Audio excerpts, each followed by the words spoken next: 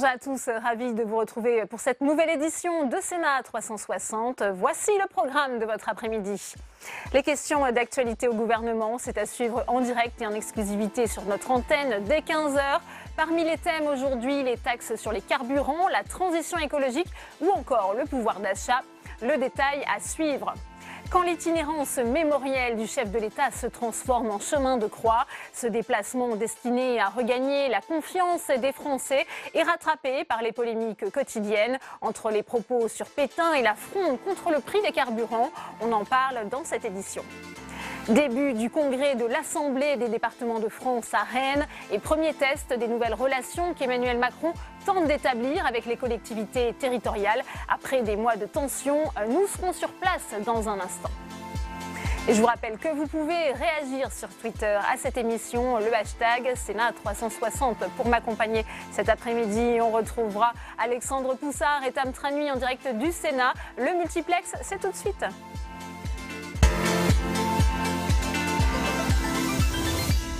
Et justement, on prend tout de suite la direction de l'hémicycle où nous attend Alexandre Poussard. Alexandre, je le disais, dans moins d'une heure, place aux questions d'actualité au gouvernement. Quels sont les thèmes qui vont être abordés cet après-midi? Mais écoutez Delphine, parmi les thèmes, sans surprise, il y aura la hausse des taxes sur les carburants, hein. cette hausse qui, cristallise le mécontentement d'une grande partie des Français hein, depuis des semaines. Et les échanges ont été très tendus hein, la semaine dernière entre les sénateurs et le gouvernement sur cette question.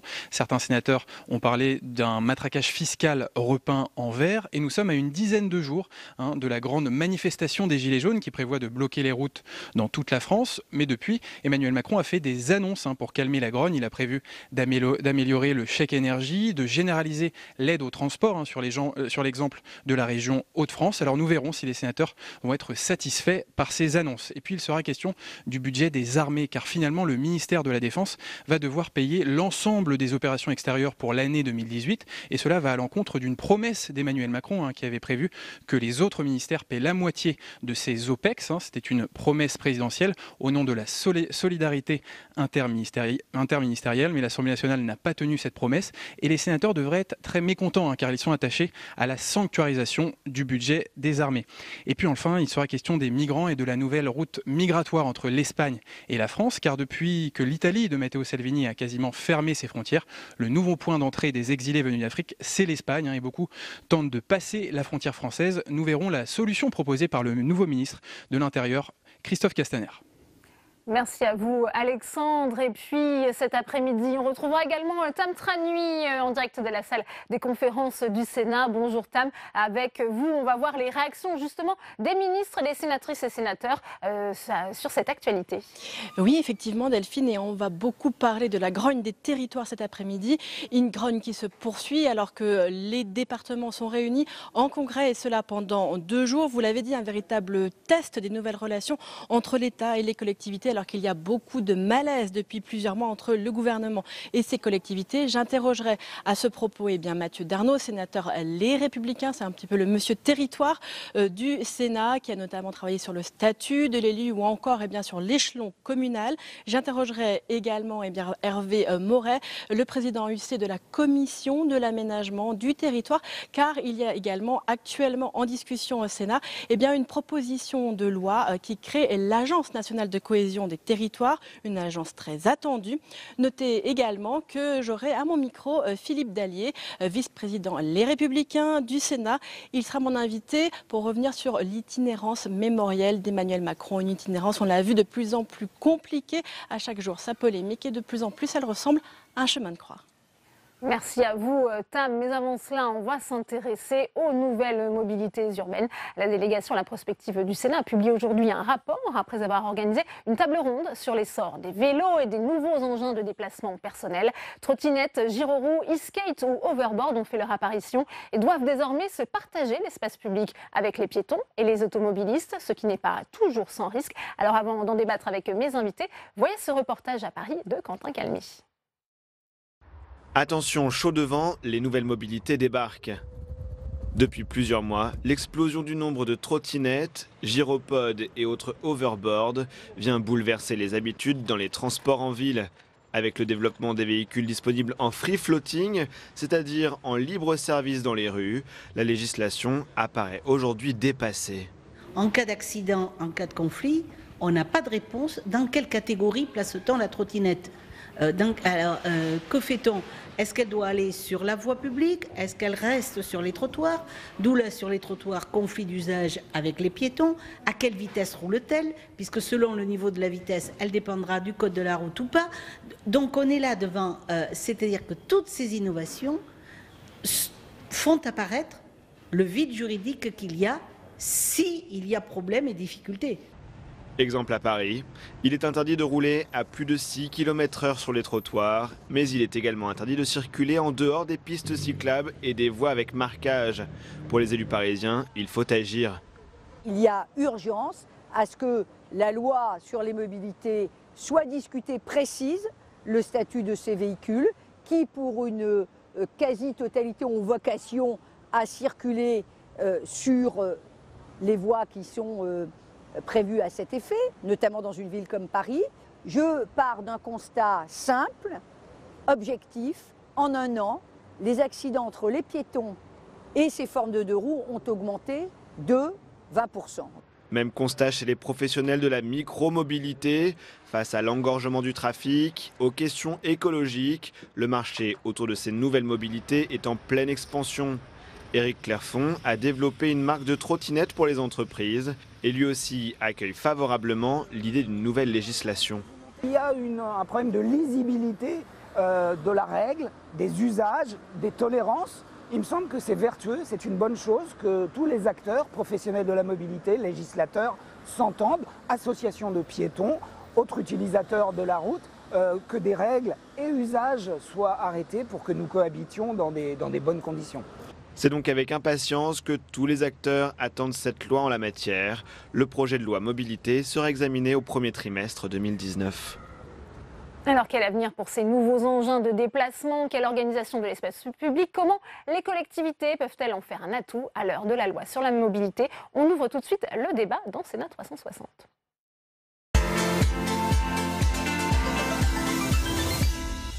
Et pour en parler, euh, j'ai le plaisir d'accueillir sur ce plateau mes invités avec vous, Laura Brimont. Bonjour, merci euh, d'être sur ce plateau. Vous êtes chercheuse à l'Institut du développement euh, durable et des relations internationales. Également avec nous, Gérard Cornu. Bonjour, vous êtes sénateur LR d'Eure-et-Loire, vice-président de la Commission de l'aménagement du territoire et du développement durable ici au Sénat. Benoît Hiron est également avec nous. Bonjour, chef du groupe sécurité des usagers et déplacements au CEREMA. Et Guillaume Box, merci d'avoir accepté notre invitation. Vous êtes gérant de Hirou. Euh, c'est à Paris. Euh, première question pour vous, Gérard Cornu, puisqu'on a vu euh, ce matin hein, la délégation à la prospective du Sénat qui s'était déjà intéressée à toutes ces nouvelles mobilités. Est-ce qu'il est facile d'en faire un état des lieux, puisque finalement, on a peu de chiffres hein, sur ces nouveaux usages?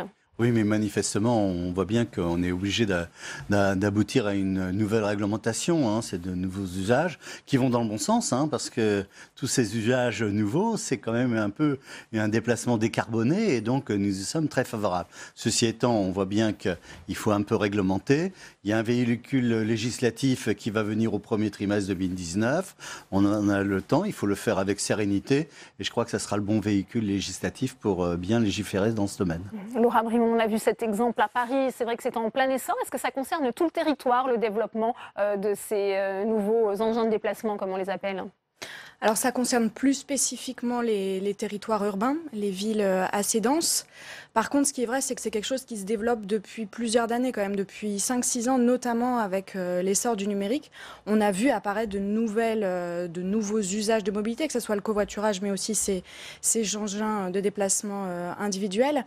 Je pense que le vrai enjeu derrière, c'est que ça remet un petit peu en cause la gouvernance que peuvent faire les collectivités locales du transport, parce que ça casse le binôme qu'il y avait avant collectivité, opérateur de transport Et là, on se retrouve avec une multitude de nouveaux acteurs qu'il faut gérer. Des opérateurs privés. Comment ça s'est passé pour vous, justement, euh, euh, chez Hirou, euh, quand vous avez développé votre enseigne? Est-ce qu'il y a une réflexion, une collaboration, justement, avec, avec la ville de Paris, par exemple?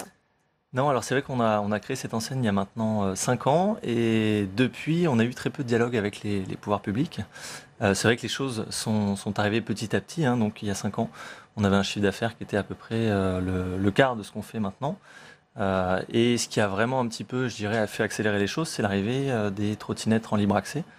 de Lime et Bird, qui là ont pour le coup, je dirais, motivé beaucoup de personnes à s'intéresser rapidement au sujet. on a vu notamment un petit emballement médiatique. donc très, très peu d'échanges. Aujourd'hui, nous, on est en capacité de, dire que nos utilisateurs sont tous des gens qui sont très précautionneux, en fait, qui protègent un petit peu leur, euh, leur trottinette et l'usage euh, parce qu'ils n'ont pas envie que ça soit interdit du jour, du jour euh, au lendemain. et c'est vrai que c'est des gens qui sont la plupart sérieux, qui vont au travail tous les jours avec. et jusqu'ici, il n'y a pas eu d'échange, en tout cas avec les pouvoirs publics, mais on, est bien sûr prêt à mettre, à mettre beaucoup de, de. Est-ce que vous avez des, des, chiffres concernant les utilisateurs, puisqu'on estime que 3% des Français utilisent déjà ces nouveaux véhicules électriques individuels? Oui, alors comme je disais, on a, on a multiplié au moins euh, par 4 le nombre de ventes. Euh, donc euh, on est vraiment aujourd'hui presque dans un, pic d'activité.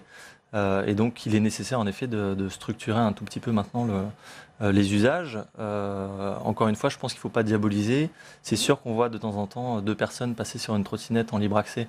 Donc ça, bien évidemment, que c'est quelque chose contre lequel il faut lutter. après, la plupart des gens s'en servent vraiment pour aller au travail tous les jours. Et ceci, il faut en fait euh, leur donner, je dirais, un, cadre très clair qui leur permettront d'aller au travail et que ce soit par piste cyclable ou sur la route. Euh, on comprend tous que le trottoir, ça va être compliqué mmh. en termes d'usage. On va y venir sur ce point, si vous voulez bien, parce qu'effectivement, c'est un enjeu. Benoît Héron, on voit bien ces nouveaux partages hein, de la voirie. Il faut une nouvelle réglementation euh, de la sécurité routière. Selon vous, ça doit être contenu dans la future loi sur les mobilités? Actuellement, la réglementation est claire. Ces véhicules, non seulement n'existent pas, mais ils, ont pour seule possibilité d'utilisation l'espace privé. Donc on ne devrait pas en trouver ni sur les trottoirs ni sur les chaussées. Bon, on voit que les usages ont complètement dépassé la réglementation en vigueur et donc il faut bouger. Après, le véhicule, est-ce que c'est du législatif ou du réglementaire? C'est une question de choix, mais les deux possibilités existent. C'est du législatif à partir du moment où certaines compétences seraient données au maire sur ce sujet-là. C'est du réglementaire si c'est une règle générale pour tout le monde, facilement compréhensible et qui ne dépend pas de dans quelle commune je suis sachant que la commune d'à côté pourrait faire un choix différent, avec des difficultés de lisibilité qui sont toujours possibles. Donc on a des enjeux sur le cadre suffisamment clair pour que tout citoyen sache se repérer dans notre réglementation. Oui, enfin, je, je, pense que ça peut être les deux. Hein. C'est pas incompatible d'avoir du réglementaire et d'avoir du législatif. Je pense que ça, ah, se marie assez bien. Euh, on, voit qu'il y a des manques, c'est des nouvelles mobilités. Je pense que c'est normal que le Parlement s'en empare et que l'exécutif nous propose un, texte de loi euh, sur l'ensemble des mobilités. Et donc, bien sûr, apparaîtra cette problématique. Oui, Laura Brimont, parce que pour l'instant, euh, ces utilisateurs sont considérés comme des piétons, ce qui ne va pas justement sans poser problème. Hein, euh, on, a entendu. Alors vous faites non. Euh, non, non, ils ne, sont considérés comme des piétons ceux qui ne circulent pas avec une trottinette motorisée. À partir du moment où elle est motorisée, elle est interdite sur l'espace public en France. Mmh. C'est beaucoup plus clair. Allez sur servicepublic.fr, euh, sur le site de Légifrance, vous verrez mmh. que euh, s'il y a un accident. sur les pistes cyclables La tolérance n'est pas un élément de droit.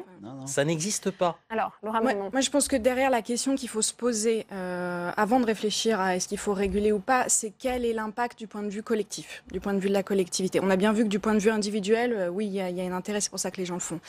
Du point de vue collectif, il y a deux choses à regarder. Il y a le report modal que ça provoque et également l'impact écologique de, ces modes de transport. Du point de vue de report modal, pour ce qui est des gens qui utilisent ces trottinettes, en, je parle du libre service, service. Souvent, c'est pas des gens qui, euh, qui le font pour abandonner leur voiture. C'est des gens qui, avant, prenaient les transports en commun, qui se rabattent sur la trottinette euh, en libre service. Donc, d'un point de vue, par exemple, de, congestion de l'espace ou euh, des gaz à effet de serre, c'est pas forcément intéressant. C'est pas le cas, par exemple, des gens qui utilisent ces trottinettes pour faire du multimodal. Typiquement, qui vont utiliser ces trottinettes pour rejoindre des gares de RER e et ensuite prendre le train. Là, je pense que de ce point de vue, c'est beaucoup plus intéressant, mais c'est pas des trottinettes en free floating dont on parle. L'autre enjeu à mon avis, à considérer derrière, c'est l'impact écologique aussi un peu caché euh, de ces systèmes, parce qu'il faut ces systèmes, il faut les gérer, il faut les redistribuer. Souvent, c'est des redistributions qui se font avec des véhicules thermiques. Et il y a aussi après tout la, question des batteries et de la durabilité euh, de ces trottinettes euh, qui est posée. Il y a un, impact écologique caché, selon vous, Guillaume Box? Euh, aujourd'hui, c'est vrai que depuis 4 ans, euh, nos utilisateurs n'ont toujours pas changé de batterie. Donc c'est vrai qu'on avait tendance au début à acheter des batteries de rechange. Euh, on est sur 1000 cycles à peu près de recharge pour une batterie. Donc il faudra se poser la question dans 1000 cycles. 1000 cycles, ça fait à peu près 25 000 km pour une, trottinette. Et les 25 000 km en zone urbaine, on ne les fait pas du jour au lendemain. Donc il faut voir, un, je dirais qu'une trottinette va durer 4, 5 ans, 6 ans.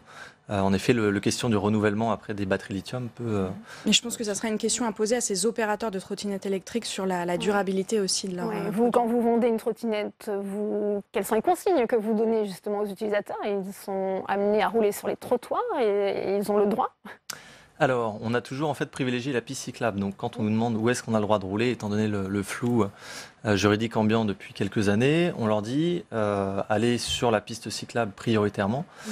Euh, si jamais vous avez euh, de temps en temps des, trottoirs à, prendre, respectez évidemment les piétons euh, et la route. Donc c'est sûr qu'au début, on avait tendance à protéger un petit peu nos, usagers, nos utilisateurs qu'on connaît bien et qui sont très prudents. Et on leur disait la route, c'est quand même, je dirais, un petit peu dangereux pour vous. Mettez un casque et soyez protégés.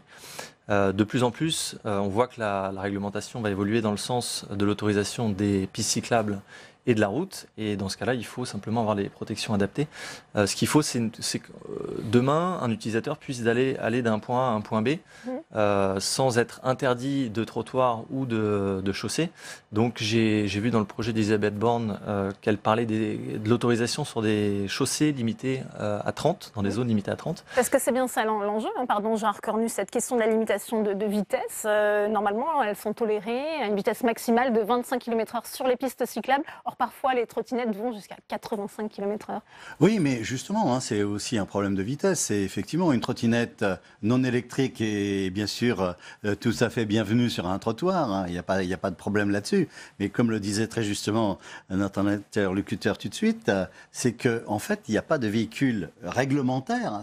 On ne peut circuler que dans le domaine privé. Donc pour l'instant, euh, tout le monde est à peu près hors la loi. Il faut appeler un chat un chat. Donc c'est pour ça qu'il faut absolument légiférer euh, dans, dans, ce domaine. Alors maintenant, on peut peut-être accélérer au niveau réglementaire, mais je crois qu'on a besoin d'un cadre législatif parce qu'il n'y a pas que le problème de la vitesse. Il y a aussi le problème de l'assurance. Il y a le problème de la protection. Il y a, il y a, il y a plein de problèmes qui se rajoutent à cela. Donc il faut absolument légiférer dans ce domaine. Benoît oui, euh, tout à fait. Il y a un certain nombre de règles à prendre ou de lois à passer. Euh, les deux étant complémentaires. Euh, le fait qu'ils ne soient pas sur le trottoir, tout simplement, nous sommes dans une situation d'une population vieillissante. Si les personnes âgées qui ont un équilibre fragile ont peur d'aller, de continuer à se mouvoir, on va les avoir qui vont perdre leur autonomie de façon accélérée. C'est un, coût, c'est un coût social, humain et économique énorme pour notre société. Donc, sanctuariser les trottoirs est quelque chose sur lequel on peut arriver à un accord très rapidement. Après, l'accès aux aménagements cyclables fonctionne à condition qu'on continue de progresser sur ces aménagements cyclables, qu'au fur et à mesure que le, que le trafic répond. Quand on faisait un aménagement cyclable pour 200 vélos jour, on faisait certains gabarits. Quand on arrive sur certaines sections à 6000 vélos jour, et on en a dans plusieurs villes, on comprend qu'il va falloir revoir les choses si en plus on ajoute euh, des trottinettes électriques, des monoroues, des Segway.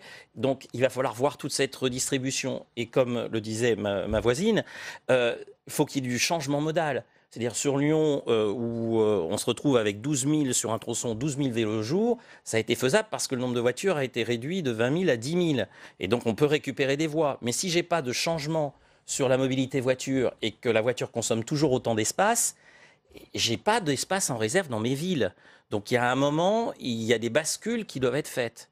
Et ça veut dire qu'il faut revoir les politiques de stationnement, ça veut dire qu'il faut revoir l'ensemble des politiques de mobilité. Et donc c'est pas qu'un problème de DP, de, de, petits engins de déplacement, c'est bien un problème de mobilité. C'est pour ça qu'une loi est, est, de bon sens pour traiter l'ensemble des problèmes.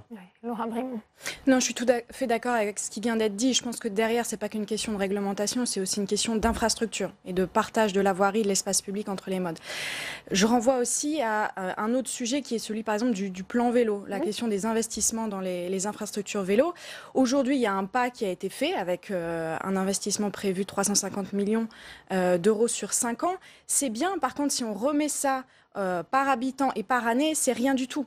Par exemple, à d'autres voisins euh, européens qui, eux, sont très à la pointe sur les questions du vélo, pour prendre que le cas du Danemark, on a des investissements par an et par habitant qui sont à peu près autour de 30 euros Aujourd'hui, en France, on n'est même pas à 10 si on prend ce plan vélo plus les investissements des collectivités locales. Donc, ce qui est clair, c'est qu'il va falloir mettre beaucoup plus le paquet pour faire des infrastructures pour les vélos, pour les trottinettes et pour l'ensemble de ces, de ces modes de transport euh, nouveaux.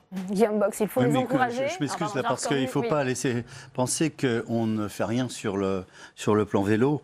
Euh, quand, quand, on parle de, chiffres, c'est les chiffres nationaux. Euh, bien sûr que par rapport à la, somme que vous évoquez, il y a en toute une somme considérable qui va être réalisée par l'apport des régions, par l'apport des départements, par l'apport surtout des communautés d'agglomération ou communautés de communes. Donc il y a vraiment une sensibilisation forte pour qu'on change nos modes de déplacement et je pense qu'on va y arriver. Alors bien sûr, hein, tout ne se fera pas en un seul jour, mais il y a au niveau national tellement de besoins sur les mobilités, que ce soit sur le vélo, que ce soit sur le ferroviaire, que ce soit euh, autre part, euh, sur la route aussi d'ailleurs, pour la sécurisation, qu'il y, y, a des sommes qui sont là et on essaye de, de faire en sorte que le vélo prenne sa place. Ah, auparavant, il n'y avait rien. Auparavant, il n'y avait rien. Maintenant, ça va prendre sa place et je pense qu'on est dans, le bon sens. C'est tout à fait ce que je dis. Les chiffres que je disais prenaient en compte les investissements des collectivités locales. Hein. Donc c'est global. Mais si vous prenez quand même l'année 2018, la DISL, donc ces dotations d'investissement hein, local, je ne sais plus le L, c'était quand même 100 euh, millions. Donc le double de ce que prévoit par an le plan vélo. Donc il y, a déjà des investissements côté État.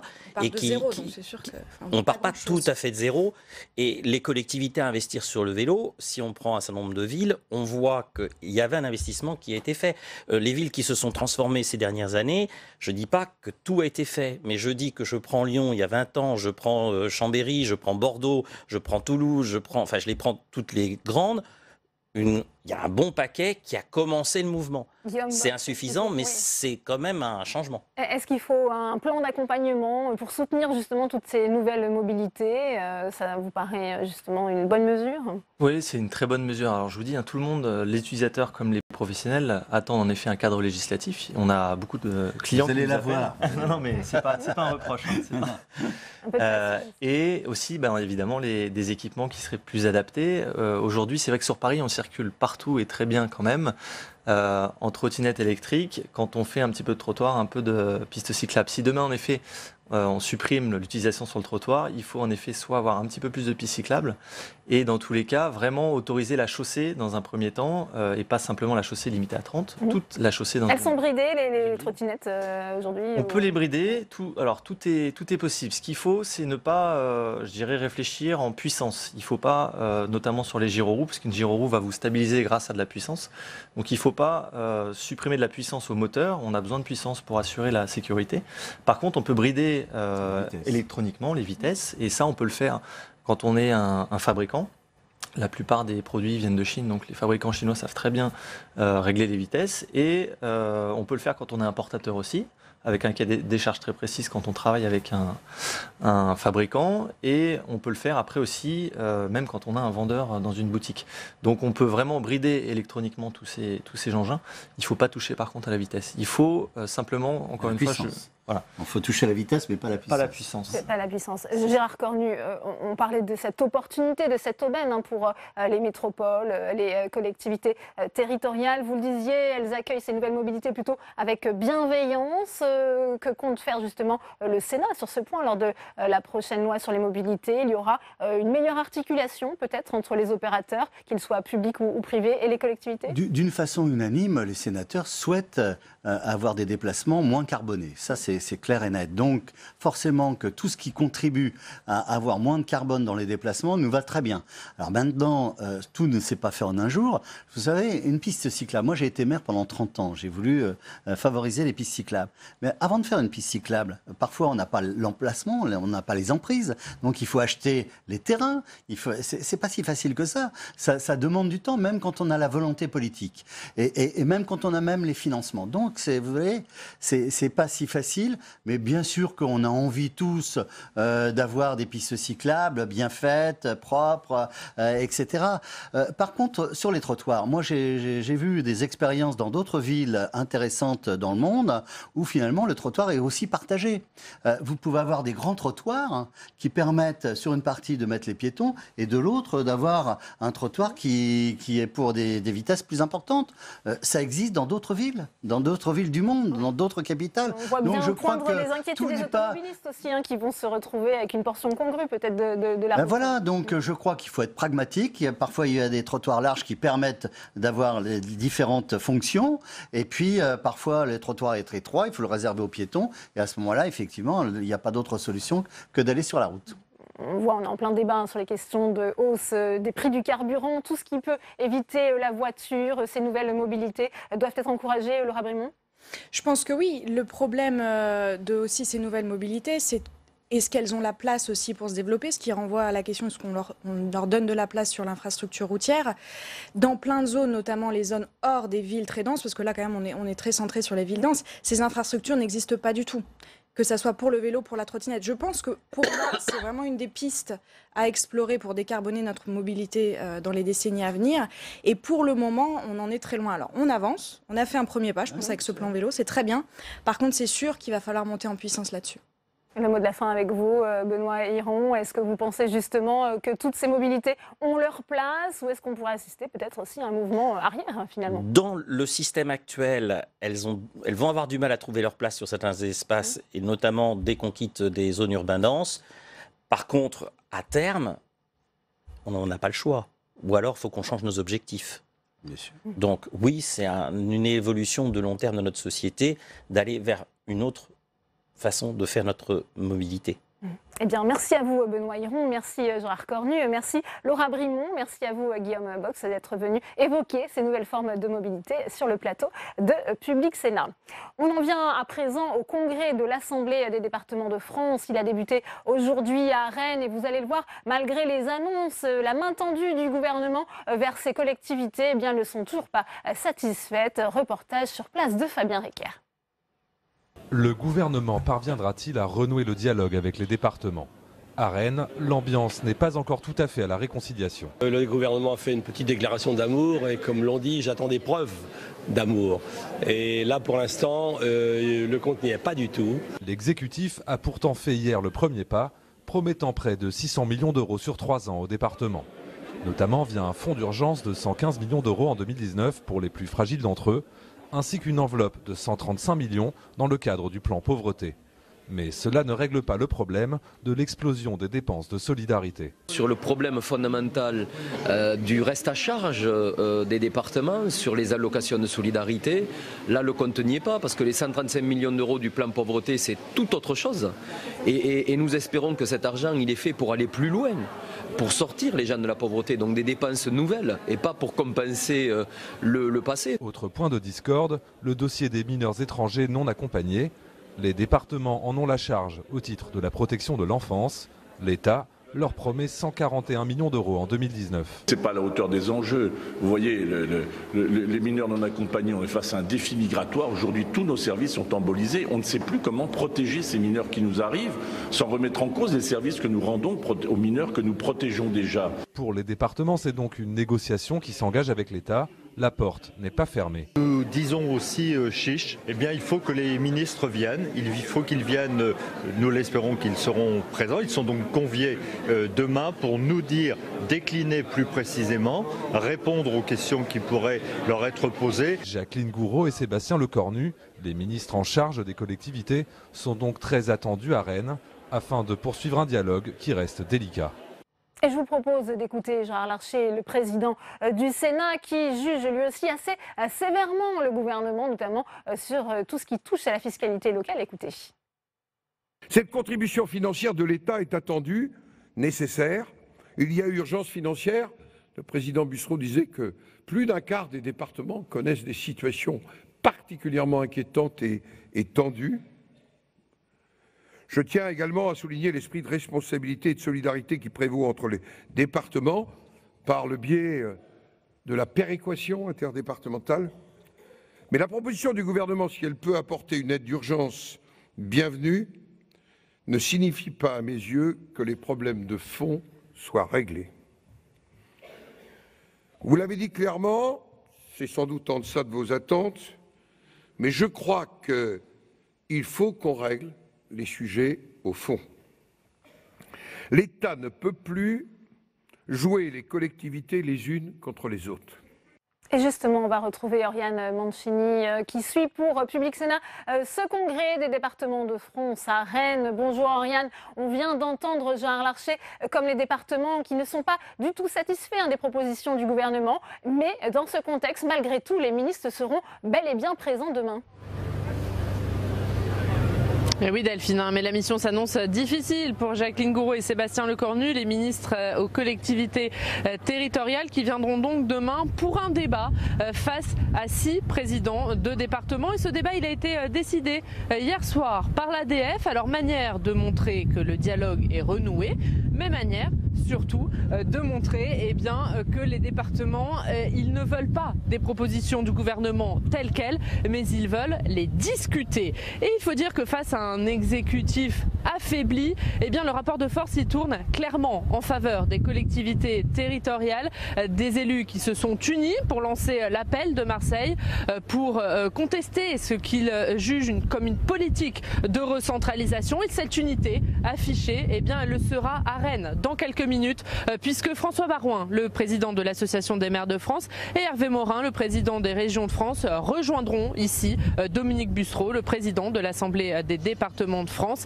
et ils prononceront euh, tous trois un discours. Et puis ce qui va renforcer euh, les élus, c'est euh, qu'à leur colère eh bien, s'ajoute la colère des Français. Tous parlent ici de ce mouvement des Gilets jaunes, de cette manifestation du 17 novembre contre la hausse des carburants et de ces remontées qu'ils ont du terrain venant de Français de tous bords politiques. Et d'ailleurs, un président de département me disait ce matin, on va vers un affrontement et le 17 novembre sera le début de cet affrontement.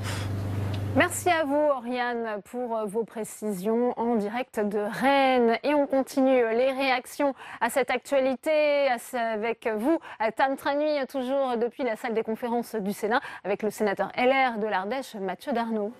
Euh, oui, Mathieu Darnaud, on le voit, hein, le congrès des départements euh, s'ouvre sur fond de malaise entre les collectivités d'une part et l'exécutif d'autre part. Comment renouer le contact et est-ce que pour vous, aujourd'hui, le rapport de force est en train de virer en faveur des collectivités? Je l'espère. En tout cas, euh, c'est pas tant euh, la volonté de gagner un rapport de force que d'être entendu. Je crois que les collectivités ont besoin d'être entendues par l'État, par ce gouvernement, par le président de la République qui a réaffirmé son souhait de vouloir entendre euh, les élus de France. je crois qu'aujourd'hui, nous avons besoin de preuves. Les mots et les paroles, c'est bien. Il faut aujourd'hui des preuves. Est-ce que vous n'avez pas eu un début de preuve hier avec cette lettre qui a été envoyée par Jacqueline Gouraud et Sébastien Lecornu, ce soutien financier de 250 millions d'euros? C'est un début, ce n'est peut-être pas la panacée, mais c'est un début. C'est un début, mais beaucoup trop timide. Je crois que, un, le compte n'y est pas. Euh, deux, euh, on ne peut pas traiter les sujets à l'avenant. Je crois qu'on a besoin aujourd'hui d'une réflexion plus globale sur le financement des communes, sur le financement des départements, euh, sur le financement des régions, sur cette fameuse réforme fiscale qui s'annonce pour savoir quelles seront les ressources des différentes collectivités. C'est cela qu'attendent les élus des territoires. C'est pas simplement qu'on vienne s'adresser au département en leur disant on va vous donner, on va faire un premier geste. Non, il faut des réponses qui sont des réponses aujourd'hui claires euh, sur des sujets qui engagent l'avenir de toutes nos collectivités. Alors, euh, on le disait, hein, il y a le congrès des départements qui commence aujourd'hui. Euh, dans quelques jours, il y aura eh bien, également le congrès des maires. Vous avez d'ailleurs rendu vos propositions pour revitaliser l'échelon de la commune. Pourquoi y a-t-il ce besoin? Je crois que ce besoin, il est flagrant aujourd'hui. la commune, rappelons-le, c'est l'échelon qui est plébiscité par nos concitoyens. C'est l'échelon de proximité, c'est l'échelon qui fait sens. Nous, nous redisons ici au Sénat, la commune, elle est essentielle. Elle est essentielle et elle doit être confortée, elle doit même être sacralisée. Nous entendons même introduire dans le débat constitutionnel euh, certaines euh, propositions, euh, notamment sur la clause de compétence générale, sur un principe qui est clair, c'est-à-dire qui décide paye. Aujourd'hui, les maires se voient imposer par des normes, par des contraintes, des dépenses supplémentaires. Et eh bien, il appartient à ceux qui prennent la décision de payer et non aux communes de trouver les ressources qu'ils n'ont pas nécessairement. On va également parler bah, de l'actualité. L'actualité, c'est eh cet objectif d'Emmanuel Macron de renouer le lien avec les territoires, avec les Français, à travers le périple dans lequel il est engagé depuis euh, le début de la euh, semaine. Euh, est-ce pour vous efficace quand on voit qu'à chaque jour, il y a une polémique et qu'il fait face à beaucoup de colère? Mais encore une fois, je crois qu'au-delà de la polémique, il y a des actes. Monsieur Macron, président de la République, aujourd'hui, a engagé d'après ce qu'il dit, un processus d'écoute, de concertation avec les collectivités. C'est très bien. Maintenant, on attend des résultats, comme je le disais, sur la réforme fiscale, sur, j'allais dire, les, les ressources qui seront allouées aux collectivités, sur la capacité qu'il a aussi d'entendre le malaise des élus et des territoires. Parce que tout ça coagule. On voit bien la manifestation du 17 novembre des Gilets jaunes. elle est finalement l'expression d'un malaise sur les territoires. Le sentiment que les élus que la population n'est plus acteur de son destin. Ce que veulent aussi ces élus, ce que veulent nos concitoyens sur ces territoires, c'est être entendus. Pas simplement qu'on leur assène des vérités, mais surtout qu'ils puissent être entendus et surtout que cette euh, écoute soit suivie des faits. Un appel donc au dialogue renouvelé. Tout à fait. Merci beaucoup Mathieu Darnaud d'avoir répondu à mes questions. Merci à vous, Tam, pour cette première réaction. Ce ne sera pas un machin de plus, promet Jacqueline Gouraud, la future agence nationale de cohésion des territoires, dont la création est débattue aujourd'hui en séance au Sénat, sera bel et bien utile pour la ministre. Mais annoncé en juillet par Emmanuel Macron, en juillet 2017, le projet s'enlise, faute de financement. Flora Sauvage. Apporter une aide sur mesure aux collectivités locales et lutter contre la fracture territoriale. C'est l'objectif de la future Agence nationale de la cohésion des territoires. Annoncé en grande pompe par le chef de l'État en juillet 2017, lors de la première conférence nationale des territoires, cette nouvelle entité doit aider les collectivités à développer leurs projets en tenant compte de leurs spécificités. Les missions qui lui seront assignées sont vastes. L'agence va conduire des programmes nationaux dans les territoires, accompagner les projets portés par les collectivités et favoriser l'aménagement des espaces commerciaux et artisanaux dans les quartiers prioritaires. Seront intégrés dans le périmètre de l'agence le commissariat général à l'égalité des territoires, l'établissement public d'aménagement des espaces commerciaux et artisanaux et l'agence du numérique. Les autres opérateurs publics, comme l'ANA, l'ADEME et l'ANRU, sont invités à travailler avec l'agence de cohésion des territoires. Reste à trancher la question des moyens les ressources financières de l'agence seront constituées de subventions de l'État, mais aussi de financements participatifs. Une taxe additionnelle sur le tabac pourrait aussi être créée. Et on va retourner dans l'hémicycle où nous attend Alexandre Poussard. Alexandre, le débat a commencé ce matin. Quel est l'enjeu de la création de cette agence des territoires? Écoutez Delphine, durant les débats ce matin, on a parlé d'argent et de financement, hein, puisque les moyens de cette future agence sont assez flous pour porter les projets des collectivités, et les sénateurs craignent que cette agence se serve directement dans les dotations de l'État qui sont versées actuellement aux collectivités territoriales, et notamment dans la DETR, la dotation d'équipement aux territoires ruraux, les territoires ruraux faisant partie des territoires les plus fragiles. Alors le rapporteur Louis-Jean de Nicolai a lancé un avertissement à Jacqueline Gouraud, on l'écoute. La possibilité de voir les crédits de la DETR traités comme des ressources sur lesquelles l'agence pourrait exercer un droit de tirage nous inquiète au plus haut point. Il est inenvisageable que le gouvernement revienne sur les, engagements pris concernant cette ressource DETR. Ce que les territoires attendent, ce sont des moyens supplémentaires pour les accompagner et non des tours de passe-passe à périmètre budgétaire constant. Lorsque l'on donne d'une main et que l'on reprend de l'autre, cela finit toujours par se voir et les, les élus ne sont pas dupes, vous en savez quelque chose. Et la ministre de la Cohésion des Territoires, Jacqueline Gouraud, a tenu à répondre immédiatement au rapporteur. Écoutez-la. La DETR, c'est la DETR. Il y a une commission d'élus ruraux DETR et ça finance des projets locaux. Mais il pourra se trouver, peut-être que je ne me suis pas exprimé clairement, que euh, des projets qui seront soutenus par la NCT euh, à la demande des élus locaux, pourront faire l'objet de financement par le préfet d'une DETR à partir du moment où ils répondent aux critères de la DETR. Je veux dire, on va pas. Est-ce que je suis claire quand je dis ça? Est-ce que vous comprenez ce que je veux dire? La DETR, il y a la. Bon, bah alors. Jacqueline Gouraud a donc été claire, les ministres l'ont comprise, mais ils n'ont pas été rassurés sur la question de ces moyens de financement de la future Agence nationale de cohésion des territoires. Merci, beaucoup Alexandre pour euh, toutes ces précisions. Et avant d'en parler avec mes invités, on retourne à la salle des conférences euh, avec vous, Tam Tranui, avec Hervé Moret. C'est le président de la commission de l'aménagement du territoire et du développement durable au Sénat. Oui, Hervé Moret, tout d'abord, une question très simple. Pourquoi une agence nationale de cohésion des territoires? On sait que c'était très attendu euh, par les collectivités. Pour quelles raisons je ne suis pas certain que ce soit si attendu que ça par les collectivités. Hein. Quand je vais à la rencontre des élus de mon département, on ne me réclame pas cette agence. Ah, pas tant que ça alors pour Non, Non, c'est le président de la République qui, euh, ici même, il y a 18 mois, a annoncé la création de cette agence.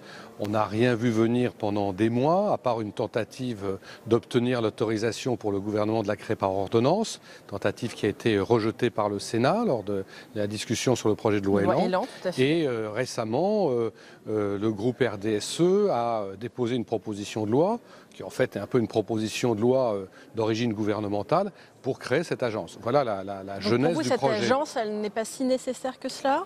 Écoutez, moi j'ai toujours dit que euh, j'étais euh, pas a priori hostile à une agence, euh, ni d'ailleurs favorable.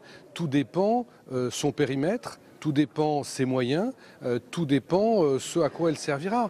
Et c'est vrai qu'aujourd'hui, on l'avait vu notamment ce matin dans la discussion, il y a encore beaucoup d'interrogations et de questionnements par rapport à ces points. Pourquoi on a intégré que certaines agences et pas d'autres Euh, Quelles seront les sources de financement? Et on l'a vu dans votre reportage, il y a la question effectivement de, de la DETR. Si on prend des crédits DETR pour les remettre dans l'agence, c'est vraiment déshabiller Pierre pour habiller Paul.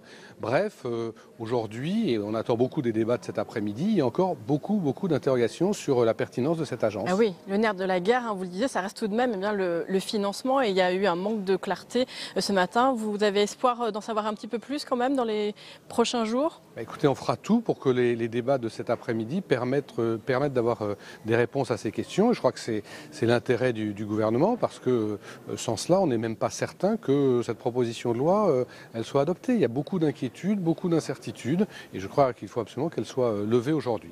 Hervé Moret, plus largement, les relations des territoires avec l'exécutif sont dégradées et au cœur eh bien, de cette dégradation des relations, il y a notamment la fiscalité écologique. Et là, elle mécontente à la fois eh bien, les territoires et les Français.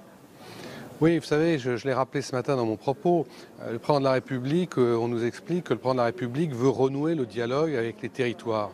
Très bien, mais quand vous regardez le budget cohésion des territoires, les seuls crédits qui augmentent, ce sont les crédits de la politique de la ville. Ce qui montre que d'un côté, il y a des paroles et que d'autre côté, il y a des actes et que ces actes, pour l'instant, j'espère que ça évoluera, mais pour l'instant, ne montrent pas un intérêt euh, très grand de la part de l'exécutif euh, pour nos territoires, et notamment nos, territoires ruraux.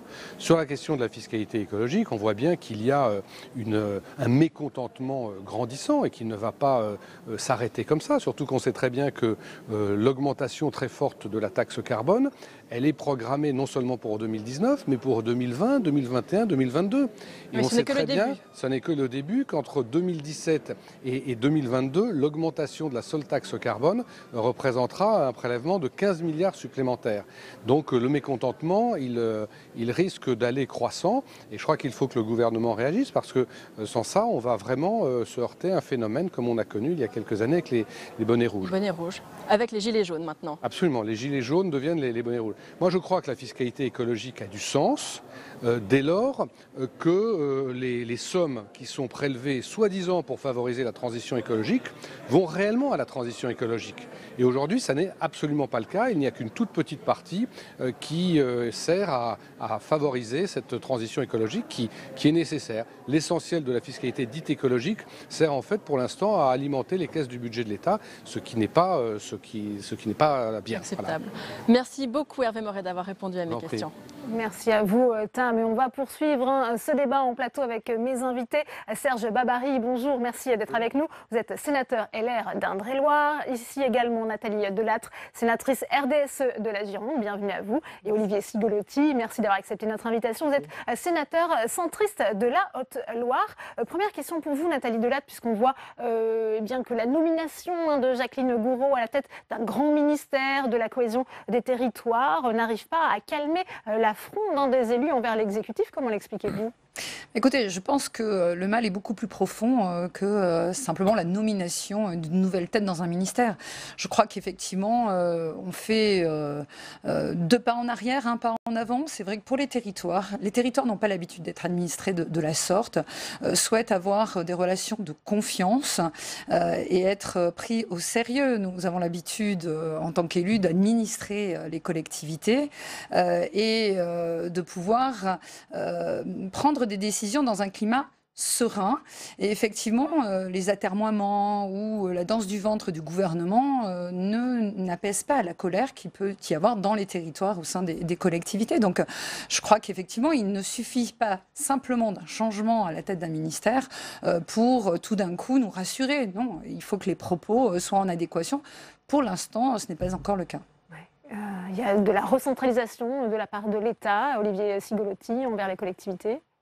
Oui, le, sujet euh, que nous évoquons aujourd'hui sur l'Agence nationale de cohésion de territoire en est l'exemple même. Euh, D'abord, ce n'est pas ce que demandaient les élus. Les élus, et notamment euh, l'Association des maires de France, demandaient plus de moyens pour la cohésion des territoires. Les élus ne demandaient pas une agence nationale. Je pense que déjà, ce n'est pas le bon niveau d'administration et que la cohésion d'un territoire se fait d'abord au niveau départemental. Bon nombre de départements se sont déjà organisés pour l'ingénierie territoriale, pour le numérique. C'est superflu, selon vous, cette agence Euh, Pourtant, ce n'est pas un truc, un machin en plus, hein, c'est ce qu'avait dit euh, Jacqueline Gouraud. J'ai peur que ce soit une énième agence du gouvernement. J'ai peur que les territoires soient déjà organisés, qu'elle puisse servir effectivement à un certain nombre de, territoires qui n'ont pas eu l'occasion de, structurer effectivement ce, ce besoin, peut-être. Mais j'ai peur que ce soit à nouveau une structure euh, dans laquelle il n'y aura pas de moyens supplémentaires. Et c'est pourtant ce que demandaient les élus. Euh, Serge Babary, on voit la difficulté pour Emmanuel Macron de regagner euh, la confiance des élus locaux. Que doit-il faire, selon vous? Bah, écoutez, il y, a- un problème euh, de fond euh, qui- qu'il ne peut pas résoudre facilement, c'est celui du financement de toutes ces décisions qui sont prises un peu à l'emporte-pièce.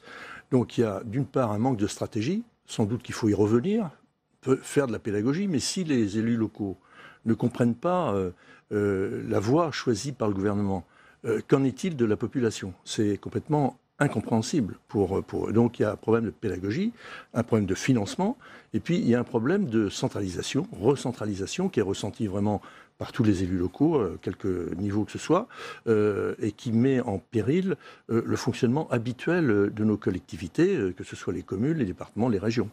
Puisqu'on est aujourd'hui au premier jour hein, du congrès de l'Assemblée des départements de France, il y a dans 15 jours aussi euh, le congrès hein, de l'AMF, de l'Association euh, des maires de France. Euh, on disait, hein, les relations n'ont jamais été aussi tendues entre l'exécutif et les collectivités. Il y a pourtant des gestes qui sont annoncés, qui sont faits, notamment vers les départements, ce qui concerne l'accueil par exemple des mineurs isolés ou encore le RSA. Ça, ça ne suffit pas, Nathalie Delattre. Mais c'est parce qu'en fait, euh, comme le dit euh, notre collègue, euh, c'est vrai qu'on a du mal à remettre tout cela en perspective. C'est-à-dire qu'effectivement, il y a des annonces qui sont faites, maladroites, qui ne sont pas hum, en amont préparées avec les collectivités, les échelons concernés, ce qui fait que ça tombe, on a l'impression que ça tombe toujours à côté. On a l'impression effectivement qu'on est dans une BD de Gaston Lagaffe en permanence. Donc c'est vrai que nous, élus parlementaires, euh, on a un petit peu de mal à voir quelle est la cohérence des lois que l'on nous présente, de ce que l'on, euh, de ce que l'on, de la stratégie qui est mise en place. Donc, on peut imaginer effectivement pour des élus euh, locaux et des Français que tout ça est, difficile à comprendre. Donc, en permanence. Il y a effectivement des, choses qui accrochent, des polémiques qui se font jour sur un tas de petits sujets et qui, de ce fait, viennent alourdir la barque du gouvernement et qui font que, voilà, on est maintenant, on a l'impression d'être dans un affrontement constant avec euh, le, le gouvernement. puisque vous parlez de ces polémiques, hein, on sait que ce devait être le déplacement d'Emmanuel Macron dans les Hauts-de-France et dans l'Est, euh, l'occasion de restaurer hein, son image. Euh, Il est plus impopulaire que jamais, de le montrer proche des territoires et des Français. Et c'est là en train de prendre l'apparence d'un chemin de croix, hein, cette itinérance mémorielle. On voit tout de suite le reportage de Samia Dechir et je vous ferai réagir juste après. La ministre des Armées avait pourtant anticipé la polémique. La semaine dernière, Florence Parly avait été claire. Le maréchal Pétain ne sera pas honoré le 10 novembre aux Invalides. Mais mercredi, avant le Conseil des ministres décentralisé à Charleville-Mézières, le chef de l'État se montre moins catégorique. Je ne pardonne en rien, mais je ne gomme rien de notre histoire. Et donc, il y a eu euh, des hauts faits militaires, il y a eu une forfaiture dans la Deuxième Guerre mondiale. Emmanuel Macron ne dit pas clairement qu'un hommage sera rendu au maréchal Pétain, mais il laisse planer le doute. Et cela suffit à faire enfler la polémique qu'aurait pu éteindre rapidement Benjamin Griveaux lors de son point presse à l'issue du Conseil des ministres. Mais il faudra attendre le mercredi soir pour que l'exécutif clarifie les choses. Il n'y aura pas d'hommage euh, au maréchal Pétain euh, samedi. Il y aura un hommage à des maréchaux qui se sont euh, engagés pendant la guerre de 14. En mettant sur le même plan le rôle du maréchal Pétain pendant la Première Guerre mondiale et sa collaboration avec le régime nazi pendant la Seconde, Emmanuel Macron a choqué une partie de l'opinion. Pourquoi il fait une erreur surtout C'est qu'il fait un parcours mémoriel qui ne peut pas être une errance mémorielle. Son parcours mémoriel, ça impose que sa parole, elle est symbolique. Un parcours mémoriel qui se révèle plus compliqué que prévu pour le chef de l'État, entre polémique et grogne contre la hausse du prix des carburants. Olivier Sigolotti, c'est une erreur de la part du chef de l'État d'avoir voulu rendre hommage au maréchal Pétain Écoutez, je pense qu'il n'a jamais été question d'hommage.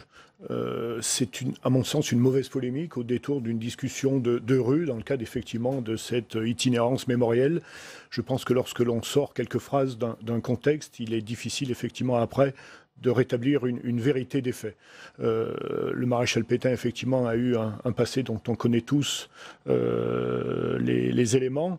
Euh, il n'a jamais été question d'hommage. Je ne vois pas pourquoi cette polémique enfle aujourd'hui au sein de, de l'exécutif et dans la presse euh, locale. Oui. Euh, vous êtes d'accord, Serge Babary oui, C'est une mauvaise la, polémique? Oui, la polémique est inutile.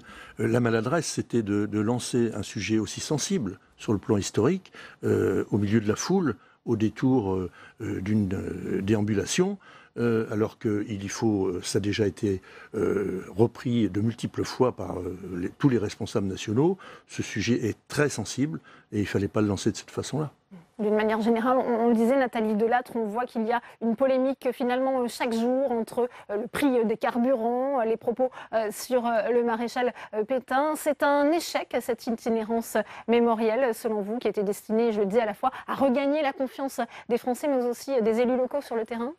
Je crois que c'est dommage, mais effectivement, vous le disiez tout à l'heure, euh, c'est un chemin de croix. Euh, et euh, c'était pourtant l'occasion de parler de notre histoire, ce devoir de mémoire, ces moments forts que l'on doit partager avec nos jeunes. Et c'est vrai que toutes ces polémiques nous font louper ce devoir de mémoire qu'on va avoir tous sur le territoire, nos territoires respectifs, notamment le, le dimanche 11 novembre. Mais c'était l'occasion, mais je crois que ça a été trop près c'est peut-être une mise en scène qui était euh, effectivement trop annoncée. Euh, je pense que, euh, je le lisais, quand on regarde certains médias, on, revoit que cette polémique remonte au 18 septembre, c'est-à-dire quand effectivement il est fait état de, de ce que va être cette itinérance. Et déjà, des médias pointent le fait que ce n'est pas clair autour de Pétain. Donc tout ça aurait pu être éteint depuis un petit moment. On ne sait pas pourquoi, effectivement, à un moment, les, les, les médias euh, euh, renchérissent. Pourquoi? C'est vrai que mmh. c'est difficile au détour, sous un parapluie. C'est pas que la faute phrase... des médias, peut-être Nathalie Delattre, c'est aussi Emmanuel Macron lui-même qui, qui, a relancé euh, cette polémique. Je voudrais aussi vous entendre sur cette grogne hein, qui monte sur euh, la question de la fiscalité des carburants. On sait qu'il y aura euh, ce blocage annoncé le 17 novembre prochain. Olivier Sigolotti, là aussi, malgré le travail hein, de pédagogie du chef de l'État, on l'a vu aller au contact avec les Français, essayer de faire accepter accepter socialement cette hausse euh, des carburants, il n'y arrive pas. Je crois que le, travail de pédagogie est trop tardif. Les Français ont réellement aujourd'hui le, sentiment que l'on est dans du bricolage ou de l'amateurisme. Je crois que les, les Français sont conscients tout d'abord des enjeux d'un point de vue climatique. Ils sont conscients des, des, enjeux euh, liés au réchauffement climatique. Ils sont prêts à en prendre leur part, mais ils ne sont pas à prendre que leur part. Je crois qu'aujourd'hui, la hausse des carburants, c'est aussi l'élément euh, aggravant sur le mépris que l'exécutif peut porter aux territoires ruraux. Comment peut-on aujourd'hui euh, augmenter le prix des carburants sans prendre en compte les difficultés, les contraintes que peuvent avoir nos administrés et nos populations lorsqu'ils n'ont pas d'autre solution que de se déplacer à leur véhicule personnel. Semaine, Olivier Sigolotti, elle, avec elle un est... chèque énergie comme ce qui se fait justement non, euh, dans les Hauts-de-France, qui pourra mauvaise... être proposé. C'est une mauvaise prise de conscience, elle est trop tardive. Comment peut-on, encore une fois, euh, augmenter les carburants et proposer que ce soit les collectivités ou les employeurs qui viennent rétablir un certain équilibre Le chèque carburant sera à la charge ou des collectivités régionales ou des employeurs, alors que la fiscalité portant sur les carburants va bien être encaissée par l'État. Donc je crois qu'à un moment, cette prise de conscience est trop tardive et qu'il aurait fallu anticiper euh, cette mesure et faire preuve bien en amont de pédagogie. Serge Babary, est-ce que ça ne suffit pas justement euh, cette proposition, cet accompagnement du gouvernement pour les ménages modestes, ce chèque énergie d'un montant de, de 20 euros? Non, ça ne suffit pas parce que euh, tout le monde réfléchit sur ces sujets-là. Et euh, pour nos concitoyens, euh, d'abord, c'est très insuffisant, ça ne correspond à rien, et il faudra bien le payer. Il y aura un tiers payant, et on sait bien comment tout ça se termine. Deuxièmement, il n'y a pas de crédibilité sur le sujet, parce que la TICPE qui augmente, euh, la TVA sur la TICPE, c'est quand même quelque chose de remarquable. On a une taxe sur une taxe. Eh bien, à chaque fois, euh, il n'y a qu'un pourcentage très très modique, euh, à peine la moitié qui va servir à l'environnement sur ce sujet. Donc à chaque fois, les gens sont un peu roulés lorsque les déclarations sont faites cette fiscalité verte, elle ne sert pas euh, suffisamment à financer la transition énergétique. Nathalie Delattre, euh, on l'a vu euh, parfois, ça sert aussi un peu à boucler les fins de mois du gouvernement. Il faut plus de transparence de la part de l'exécutif oui, pour je crois accepter justement ces taxes. Il y a eu une erreur de communication au départ. Je pense qu'il fallait dire tout de go qu'effectivement c'était pour rembourser la dette de l'État et pas parler de transition énergétique alors qu'on en a besoin. Effectivement, à, nouveau, nous avons des émissions à effet de gaz qui sont en augmentation. donc les Français sont très préoccupés par ça, sont prêts à faire des efforts. Mais avec cette taxation, ils, n'en verront, ils ne verront pas les effets sur le changement climatique parce que nous n'agissons pas. Euh, et, ce qui est proposé est plutôt une usine à gaz. Euh, il aurait mieux fait de ne pas euh, augmenter la taxe sur les biocarburants, par exemple, qui peut aider la filière viticole. Sur le F10, c'est le fuel qui, arrive, le nouveau fuel biocarburant qui, permettrait effectivement de, de participer. C'est-à-dire qu'en fait, il n'y a pas eu de cohérence entre les actions et, le discours. Donc encore une fois, c'est vrai que euh, c'est l'alerte orange qui se met en place pour les Français. J'espère que ça, ne... voilà, ce sera simplement une grogne. En tous les cas, euh, ça va faire partie des thèmes, hein, des questions d'actualité qui vont euh, débuter dans cinq minutes maintenant. Je vous libère pour regagner l'hémicycle. Merci, à tous les trois. On retourne à la salle des conférences avec vous, Tam Tranui, puisque vous êtes à côté du vice-président du Sénat, du Sénat, le sénateur LR Philippe Dallier. oui, Philippe Dallier, on va reparler de cette grogne des territoires et des Français. Gérard Larcher, ce matin sur notre antenne, a dit craindre un affrontement majeur entre les Français et l'exécutif le 17 novembre prochain. Est-ce que vous aussi, vous craignez cet affrontement? Je crois que la colère des Français est palpable. Et je me demande si le gouvernement a bien pris la mesure des choses. Que ça soit, encore que le président de la République Macron voilà, l'a expérimenté sur le terrain, alors qu'il est là pour parler du 11 novembre et il s'aperçoit que les Français, eux, parlent à la fois euh, de leur retraite, de euh, l'augmentation des prix du carburant. Et j'ai le sentiment que le gouvernement est, est, véritablement déconnecté et ne mesure pas la colère des Français. Et c'est vrai que dans un cas comme celui-là, on peut se demander comment les choses pourraient tourner. Euh, d'autant plus qu'il y a chaque jour, en plus de cela, euh, pendant eh le périple d'Emmanuel Macron, à chaque jour, sa polémique, alors euh, toujours autour du maréchal Pétain. Emmanuel Macron a reparlé de ce sujet, disant qu'il y avait une fausse polémique, mais il a maintenu ses propos sur le maréchal Pétain. Il a aussi dit hors de question de lui rendre hommage individuellement aujourd'hui. Peut-être aurait-il dû le dire plus tôt Oui, c'est exactement ce que j'allais vous dire. Si dès le départ les choses avaient été claires, cette, polémique n'aurait pas eu lieu et il est regrettable qu'elle ait lieu. Il est clair, euh, en tous les cas pour moi, que le 17 juin 40, euh, Pétain euh, est, mort en tant que tel. Et ça n'efface pas historiquement ce qu'il a fait pendant la Première Guerre mondiale, mais ça interdit de célébrer en quoi que ce soit le personnage. et ça, je pense qu'il euh, n'était pas difficile de le dire et, on a eu une faute de communication parce que je ne vais pas faire de mauvais procès au président de la République, mais euh, voilà, cette, cette, erreur aurait dû être évitée euh, parce qu'on le voit, il est obligé d'y revenir encore une fois. Il faut que ça s'arrête, tout ça.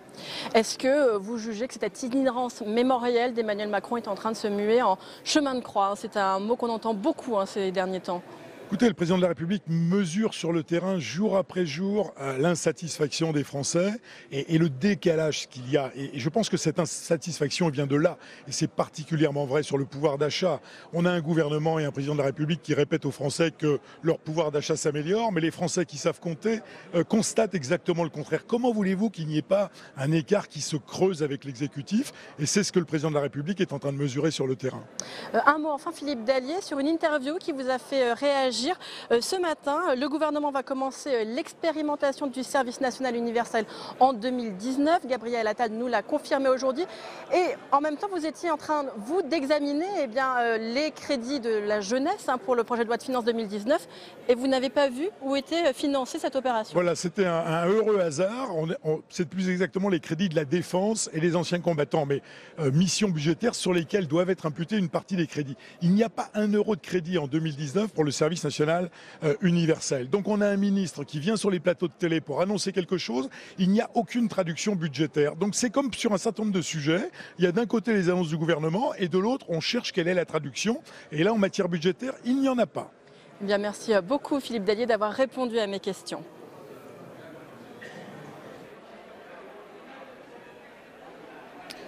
Et oui, donc nous allons parler durant ces questions d'actualité du Sénat au gouvernement, évidemment de la hausse des taxes sur les carburants, hein, de la grogne sociale contre cette fiscalité écologique, car nous sommes à une dizaine de jours de la grande manifestation des Gilets jaunes contre cette hausse des taxes euh, sur les carburants, des Gilets jaunes qui veulent bloquer les routes dans toute la France. Alors on va le rappeler hein, concrètement, le litre de diesel l'année prochaine va augmenter de 8 centimes d'euros et le litre d'essence de 4 centimes. Emmanuel Macron a essayé d'éteindre l'incendie cette semaine en faisant quelques annonces pour calmer cette grogne sociale. Il a annoncé la généralisation de l'aide euh, au transport pour les travailleurs qui font plus de 30 km pour rejoindre euh, leur, domicile à leur travail. Et puis il a annoncé qu'il voulait améliorer le chèque énergie qui est versé actuellement pour les ménages les plus modestes pour les aider à payer leur facture énergétique en fin de mois. Alors on va voir hein, si les sénateurs ont été satisfaits par ces annonces d'Emmanuel Macron. En tout cas, ils s'interrogent sur l'utilisation de ces recettes des taxes sur les carburants.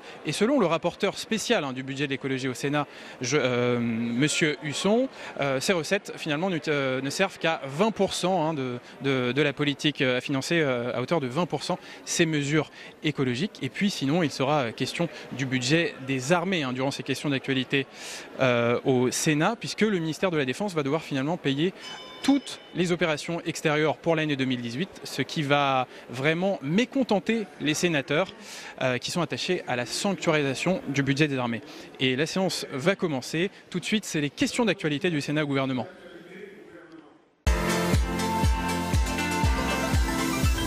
Aujourd'hui au Congrès des assemblées des départements de France. Je vous rappelle que la séance est retransmise en direct sur Public Sénat, sur le site internet du Sénat et sur Facebook. Au nom du bureau du Sénat, j'appelle chacun de vous, mes chers collègues, à observer au cours de nos échanges l'une des valeurs essentielles du Sénat, le respect, qu'il s'agisse du respect des uns et des autres ou de celui du temps de parole. La parole est à M. Fabien Gay pour le groupe communiste républicain citoyen écologiste pour deux minutes. Merci, Monsieur le Président. Monsieur le Ministre, mes chers collègues, la colère gronde sur tout le territoire face à l'augmentation des prix du gaz, du fioul domestique et de l'essence. Elle est légitime car elle exprime le sentiment d'assister à un véritable hold-up fiscal. Vous faites payer une fiscalité maquillée en vert aux familles populaires et aux classes moyennes. Or, ce sont ces familles qui subissent déjà les salaires bloqués, le SMIC non revalorisé et les pensions de retraite qui baisse avec la hausse de la CSG.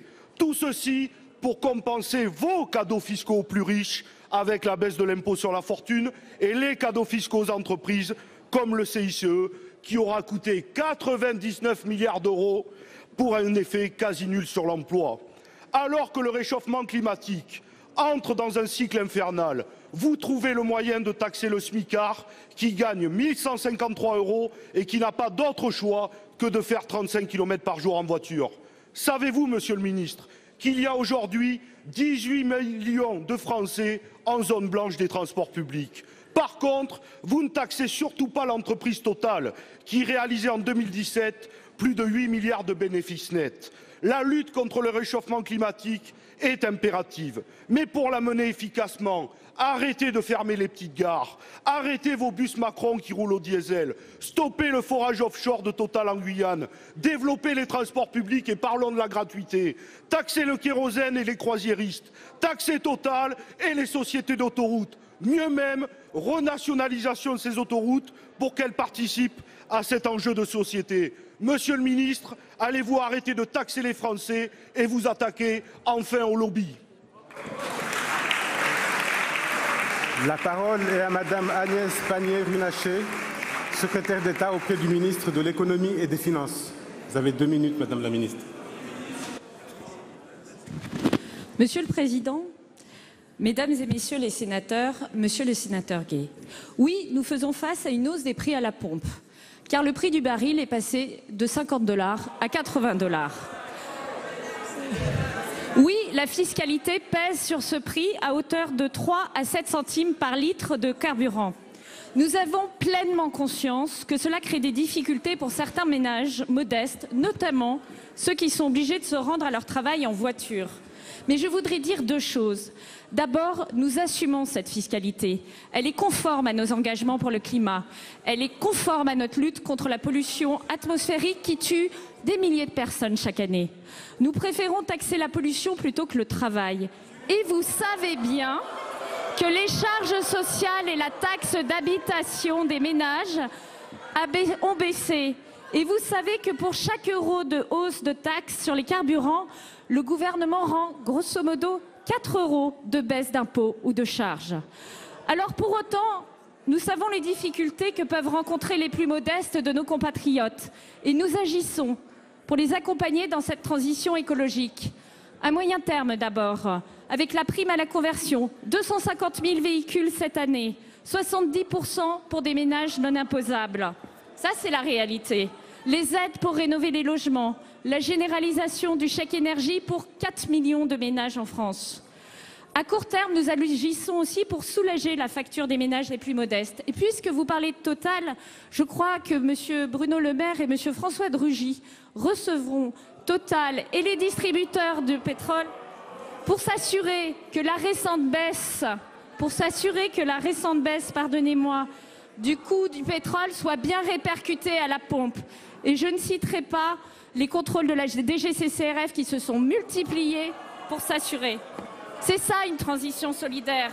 C'est une transition qui tient la route, qui respecte le... S'il vous plaît Tout en accompagnant les ménages modestes. Je vous remercie. Monsieur Gay, vous avez 7, minutes pour 7 secondes pardon, pour répliquer. 7 minutes, ça me va, Monsieur le Président.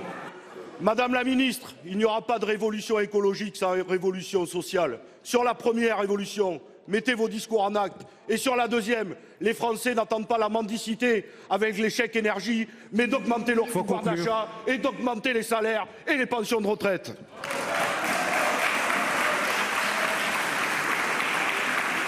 La parole est à Monsieur Franck Montaugé pour le groupe socialiste et républicain et pour deux minutes. Monsieur, le Président, chers collègues, ma question s'adresse à Monsieur le ministre de la Transition écologique et solidaire. Pour se chauffer ou pour se déplacer, les Français constatent que leurs factures augmentent dans des proportions insupportables. Les mécontentements montent de toutes parts dans le pays et malgré les annonces, vous n'avez pas pris la mesure des difficultés que vivent les Français. Parmi eux, je pense à ceux qui ont des revenus modestes ou dont le pouvoir d'achat diminue et qui sont à l'euro près pour boucler leur fin de mois. Je pense à ces ruraux qui sont captifs du carburant pour se déplacer ou se chauffer, à ces Français qui voudraient bien isoler leur maison pour payer moins cher leur chauffage. Le gouvernement s'était engagé, par exemple, à transformer en prime le crédit d'impôt transition énergétique. On attend toujours, mais ce qui est sûr, c'est que les crédits correspondants sont divisés par deux dans le budget 2019. De surcroît, les Français se sentent grugés quand 20 seulement des augmentations de taxes sont affectées à la transition. Ils ne voient pas où vous voulez mener le pays pour faire face aux enjeux multiples et cruciaux de la transition énergétique et écologique. Ces enjeux, les Français les partagent et veulent y contribuer pour autant que les mesures prises soient justes et efficaces.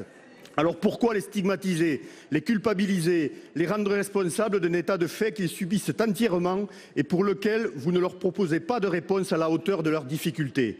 Monsieur le ministre, tout en engageant résolument la France dans la transition économique, sociale et environnementale qui doit se faire au bénéfice de tous, quelles nouvelles mesures entendez-vous rapidement prendre pour répondre aux difficultés des Français?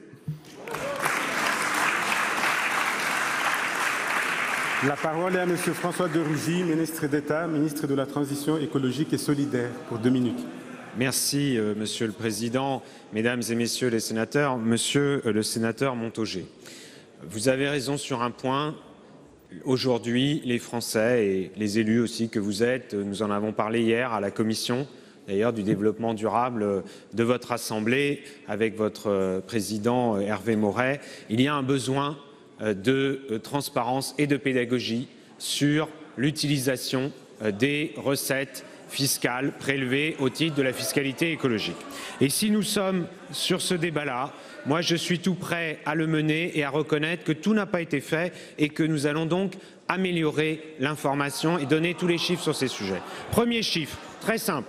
Il y a aujourd'hui, et voyez que nous ne cherchons pas à minorer les choses, 34 milliards d'euros en 2019 seront prélevés au titre de la fiscalité écologique sur les carburants, mais aussi euh, la taxe carbone et aussi d'autres euh, fiscalités qui existaient déjà d'ailleurs auparavant. Le budget du ministère de la Transition écologique et solidaire, c'est exactement 34 milliards et c'est un milliard de plus en 2019 qu'en 2018. Bien sûr, il faudra donner tous les éléments sur le contenu euh, de ces dépenses et de ce budget. Exemple concret, exemple concret, la contribution climat-énergie, la taxe carbone, 7,9 milliards d'euros en 2019, c'est 7,3 euh, milliards d'euros qui seront réinvestis dans les énergies renouvelables c'est concret. 1,2 milliard d'euros qui seront réinvestis dans les infrastructures de transport à travers l'Agence française euh, d'investissement dans les infrastructures de transport, l'AFIT. C'est concret. Moi, je suis prêt, évidemment, à continuer à donner les chiffres. Quant aux mesures d'accompagnement, évidemment, ça fait aussi partie de l'accompagnement du changement. Nous les poursuivons et nous les amplifions. Prime à la casse, pour euh, les voitures euh, les plus polluantes en échange de l'achat d'une voiture moins polluante, 2 000 euros pour les ménages non imposables. Elle a un très grand succès, nous l'amplifions. Euh, prime également pour changer de chaudière d'eau fioul, nous allons poursuivre. Chèque énergie, nous allons l'augmenter et nous chercherons des mesures encore complémentaires pour améliorer celles et ceux qui sont avec les revenus les plus modestes.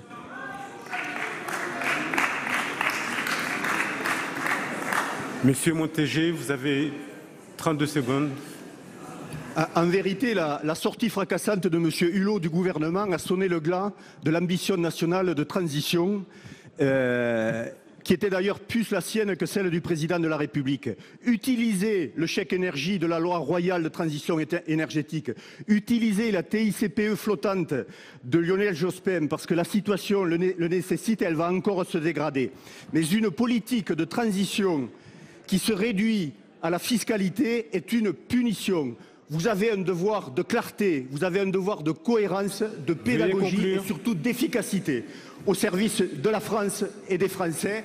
Assumez ce devoir pleinement dans l'intérêt général.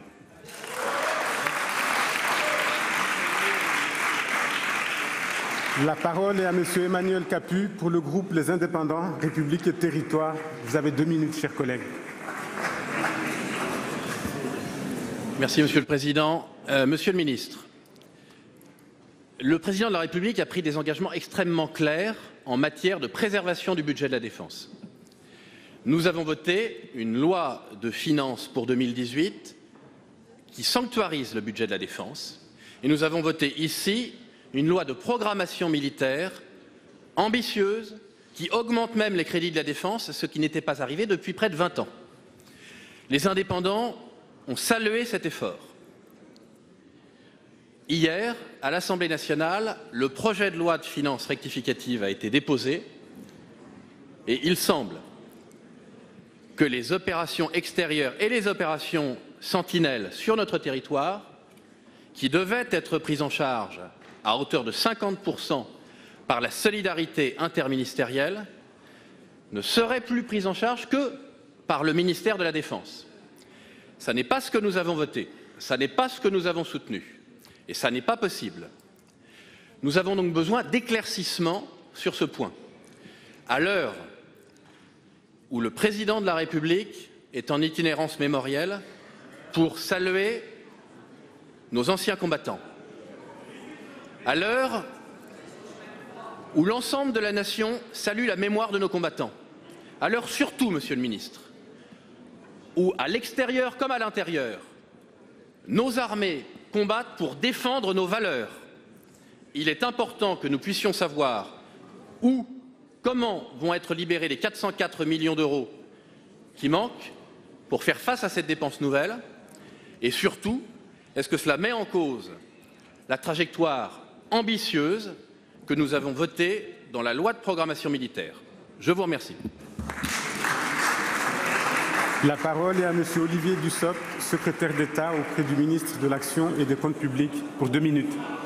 Merci, euh, Monsieur le Président. Mesdames et Messieurs les sénateurs, Monsieur le Sénateur, vous l'avez dit, depuis euh, maintenant longtemps, un fossé s'est creusé entre des besoins, besoins utiles, besoins d'intervention de nos forces armées, à l'intérieur comme à l'extérieur, et les moyens qui étaient plus faibles pour euh, la défense. Il y a une réponse à cette situation, c'est un engagement du Président de la République un engagement clair, ferme, répété, qui consiste à, dire que l'État consacrera 2% de notre produit intérieur brut à la défense d'ici 2025. Et c'est un engagement inscrit dans la loi de programmation militaire dont la trajectoire sera intégralement respectée. Pour illustrer cela, le projet de loi de finances pour 2018 a déjà augmenté de 5,5% le budget de la défense avec 1 milliard 800 millions d'euros supplémentaires. Nous devons aussi conjuguer cet effort avec un autre impératif, qui est un impératif de maîtrise de notre déficit public. Et le projet de loi de finances rectificative que vous avez évoqué donne à la France les moyens d'y parvenir, avec notamment une économie de 600 millions d'euros réalisée sur la loi de finances initiale par rapport à ce qui était prévu. Et cela nous permet aussi de tenir les engagements de la France. Je tiens à vous rassurer, le ministère des Armées est exempté de contribution à cet effort. Et il y aura des ouvertures de crédit pour un montant strictement égal aux annulations le concernant. Dans le détail, les surcoûts, notamment liés aux OPEX, sont financés à 100% conformément aux besoins exprimés, soit 404 millions d'euros, vous l'avez rappelé dans votre question. Les annulations de crédit du ministère de la Défense que vous évoquez représentent moins de 1% du budget du ministère, n'auront aucune conséquence sur les commandes et les livraisons de matériel au profit des armées, pour une raison très simple, c'est qu'il s'agit d'annulation de crédits qui étaient en réserve, la réserve de 3% qui concerne tous les ministères et qui donc jusqu'à présent n'avait absolument pas été engagée. Par ailleurs, il faut souligner deux points. Le ministère des Armées va bénéficier d'un dégel immédiat de 250 millions d'euros qui lui donnera une visibilité inédite pour sa fin de gestion. Et le ministère des Armées n'est en aucun cas mis à contribution dans, les, dans le cas des opérations de solidarité interministérielle pour la fin de gestion. Il n'y a aucune ambiguïté et les engagements du gouvernement vis-à-vis -vis de nos armées seront intégralement respectés. Monsieur Capu, vous avez 8 secondes pour répliquer. Monsieur le ministre, vous l'avez compris, nous sommes tout à fait capables de faire des économies sur d'autres missions, mais sur la défense, il faut que les engagements soient tenus, qu'on ne rogne pas sur l'investissement, sur l'innovation et sur l'équipement des troupes.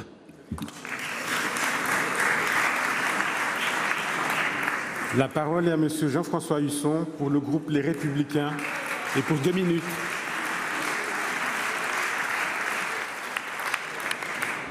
Monsieur le ministre d'État, vous avez décidé d'augmenter une nouvelle fois la taxe sur les carburants et assumer cette position de manière constante. Il est grand temps que vous preniez conscience de l'injustice qu'engendre votre politique, au lieu de vous contenter de mesures de circonstance en réaction à la colère des Français. Vous êtes le chef d'orchestre d'une fiscalité punitive, à défaut de dérouler la partition d'une écologie positive, unique clé d'une transition énergétique harmonieuse capable d'emporter l'adhésion des Français. Cette politique confiscatoire est le point d'orgue de ce que vous essayez de vendre aux Français comme étant la symphonie du Nouveau Monde. Alors je vous le demande, Monsieur le Ministre, quelles nouvelles orientations décisives et stratégiques proposez-vous pour être à la hauteur des enjeux de la transition écologique que l'urgence climatique exige? La parole est à Monsieur, François de Rugy, ministre d'État, ministre de la Transition écologique et solidaire, pour deux minutes. Merci, Monsieur le Président, Mesdames et Messieurs les sénateurs, Monsieur le sénateur Husson. Il y a quelques années, vous aviez euh, remis un rapport à la suite d'une commission d'enquête sénatoriale sur la pollution de l'air. Et vous aviez euh, courageusement, avec euh, votre collègue de l'époque, Leïla Aichi, chiffré les dégâts de la pollution de l'air. Vous aviez évalué avec les autorités compétentes à 45 000 morts prématurées par an. Aujourd'hui, Santé publique France a évalué, a réévalué ce chiffre à 48 000 morts prématurées par an liées à la pollution de l'air. Vous aviez évalué les dégâts de la pollution de l'air à plus de 100 milliards d'euros. Vous aviez appelé à l'action et vous aviez raison. Moi, j'ai vu ces dernières années les atermoiements sur les questions à la fois de la pollution de l'air et du climat. Je me souviens, et je le dis aussi euh, au sénateur Montaugé qui posait la question et surtout dans sa réplique après ma réponse, en 1998, le gouvernement avait envisagé la convergence essence-diesel, avait commencé à l'amorcer. Il l'a stoppé net en 2000.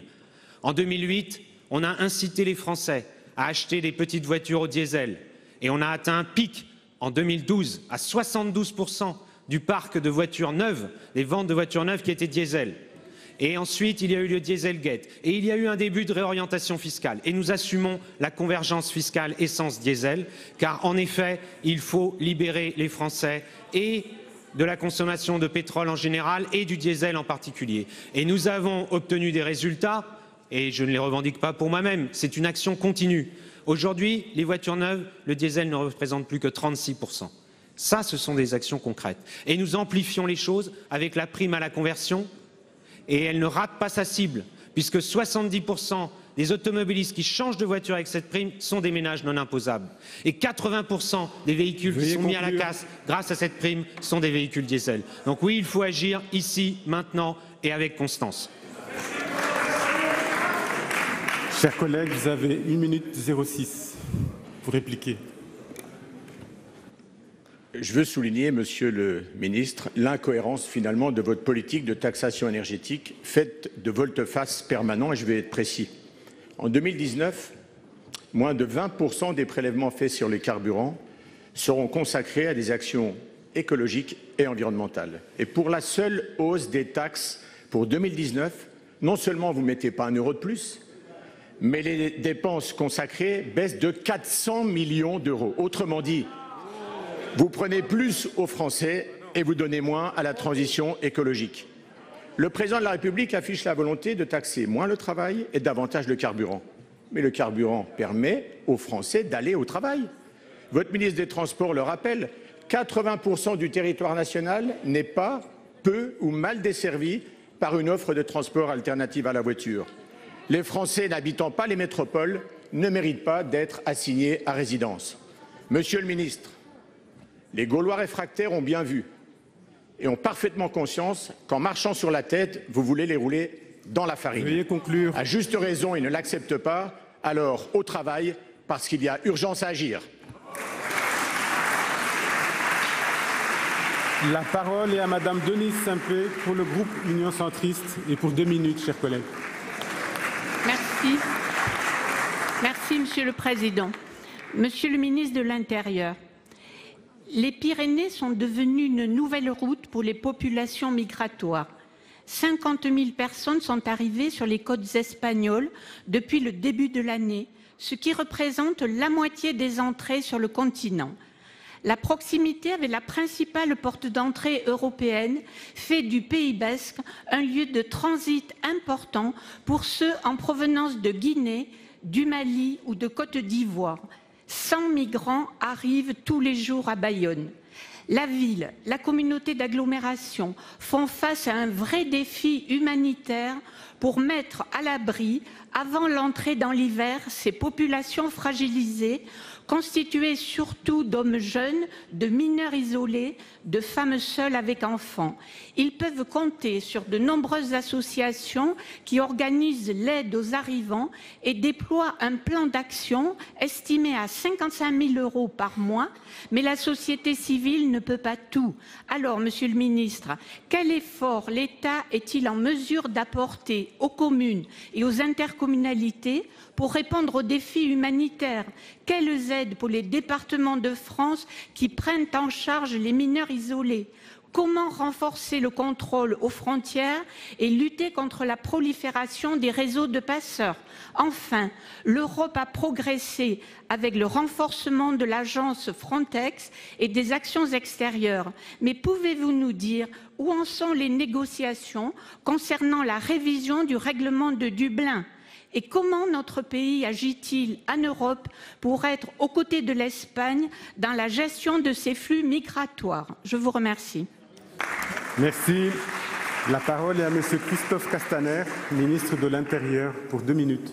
Merci, Monsieur le Président, Mesdames, Messieurs les sénateurs, Madame la sénatrice Simpé. Vous m'interrogez au sujet du passage des migrants à la frontière euh, franco-espagnole et je vous en remercie. Vous avez raison. Trois chemins d'accès, trois routes classiques sont identifiés euh, pour les phénomènes migratoires et aujourd'hui, depuis quelques mois, l'Espagne est la principale route d'accès au continent euh, européen. Vous avez donné des chiffres, vos chiffres euh, sont réels et en effet, on a en plus des nationalités vous les avez cités, qui sont des nationalités pour l'essentiel francophones et dont nous savons que le pays de destination de ces migrations, c'est la France. C'est la raison pour laquelle nous avons décidé de mobiliser des moyens renforcée, renforcée pour contrôler euh, nos frontières euh, au titre de la sécurité euh, juste que chacun ici défend. Une compagnie supplémentaire de CRS a été détachée. Depuis la semaine dernière, j'ai rajouté 10 policiers supplémentaires et non seulement sur le site d'Andaï que vous connaissez bien, où le ministre Nunes s'est rendu il y a trois semaines, j'ai fait en sorte que nous soyons présents aussi au niveau des cols, parce qu'on sait que la migration peut parfaitement se déplacer et nous venons de mobiliser un peloton de gendarmerie dédié justement à la sécurité euh, sur l'école. Nous avons décidé de renforcer et de réorganiser notre intervention sur euh, la frontière franco-espagnole et j'ai pris la décision de nommer un coordinateur sur l'ensemble du massif pour faire en sorte que, dans le dialogue avec les autorités espagnoles, il n'y ait euh, qu'un seul interlocuteur pour renforcer nos moyens et nos engagements. D'autre part, euh, je rencontrerai lundi, dans quelques jours, mon homologue euh, euh, ministre de l'Intérieur espagnol. Et dans la foulée, j'irai au Maroc, parce qu'il est important aussi que nous intervenions au Maroc. La Commission européenne a décidé, il y a trois jours, de mobiliser une aide exceptionnelle de 140 millions d'euros à destination du Maroc. Et j'ai échangé à midi même aujourd'hui avec mon homologue marocain pour faire en sorte que cet argent permette de financer des opérations d'anticipation du risque migratoire. Et vous me posez, dans les 15 secondes qui me restent, la question aussi de l'engagement euh, financier auprès des collectivités locales. Vous avez raison. Il est important de pouvoir accompagner en particulier les départements qui accueillent des mineurs euh, isolés. Et nous avons prévu dans le budget et la loi de finances 2019 une augmentation de 25% de la dotation pour accompagner les départements. Merci. Vous avez 11 secondes, chers collègues, pour répliquer. Oui, Monsieur le Ministre, merci pour votre réponse, mais je veux vous dire, il y a urgence à agir. La France doit veiller à ce que ce sujet humanitaire ne soit pas instrumentalisé par des groupes politiques qui mêleraient immigration et délinquance. Sur cette terre traditionnellement hospitalière qu'est le Pays basque, le populisme n'a pas sa place. Je vous remercie. Merci. La parole est à Madame Françoise Cartron pour le groupe La République En Marche. Vous avez deux minutes, chers collègues. Merci, Monsieur le Président. Ma question s'adresse à Madame Agnès Buzyn, Madame la Ministre. À de multiples reprises, j'ai pu constater, regretter les difficultés parfois extrêmes vécues par les personnes en situation de handicap ainsi que par leurs familles dans l'organisation de leur vie quotidienne et face aux démarches qu'elles doivent effectuer des démarches complexes et répétitives. Lorsqu'il faut par exemple redémontrer à échéance régulière le handicap de son enfant afin de bénéficier d'une continuité dans l'accompagnement, quelle souffrance et que de complications, quelle violence inutile ajoutée à des parcours de vie déjà très compliqués. Le 19 juin, Dominique Gillot, présidente du Conseil national consultatif des personnes handicapées, dont nous connaissons ici le travail, vous présenter des solutions concrètes afin de faciliter l'embauche et le maintien en emploi des personnes en situation de handicap. Le comité interministériel du handicap, qui s'est réuni en octobre avec l'ensemble des ministres, poursuivait le même objectif de simplification. À cette occasion, des annonces fortes ont été faites. Certains droits, comme celui d'avoir un accompagnement éducatif, seront attribués pour un cycle scolaire et non pour une année. Je pense aussi à la création d'un bonus inclusion handicap dans les crèches, la majoration du complément mode de garde pour les assistantes maternelles qui représentent des avancées. De même, l'allocation d'éducation sera attribuée jusqu'aux 20 ans de l'enfant. Vous avez également évoqué l'attribution à vie de droits pour les personnes dont le handicap n'est malheureusement pas susceptible d'évoluer favorablement. C'est un progrès considérable. Alors, Madame la Ministre, ces annonces vont donner lieu à des décrets. Nous aurions souhaité connaître le calendrier de mise en place de ces mesures très attendues par les personnes handicapées et leurs familles. Merci. La parole est à Madame Agnès Buzyn, ministre des Solidarités et de la Santé, pour deux minutes. Merci Monsieur le Président, Madame la sénatrice Françoise Cartron, Mesdames et Messieurs les sénateurs. Oui, je vous confirme que ces mesures vont être rapidement mises en œuvre. Le comité euh, interministériel du handicap, qui a été présidé par le Premier ministre le 25 octobre dernier, consacre effectivement des avancées majeures en matière de citoyenneté, notamment des personnes handicapées sous tutelle. Je pense au droit de vote inaliénable, au droit de se marier, se paxer ou divorcer sans recourir à l'autorisation judiciaire. Ces mesures sont discutées dans le projet de loi de réforme de la justice. Le gouvernement a aussi souhaité avancer rapidement sur l'amélioration de l'accès aux droits et à la simplification des démarches.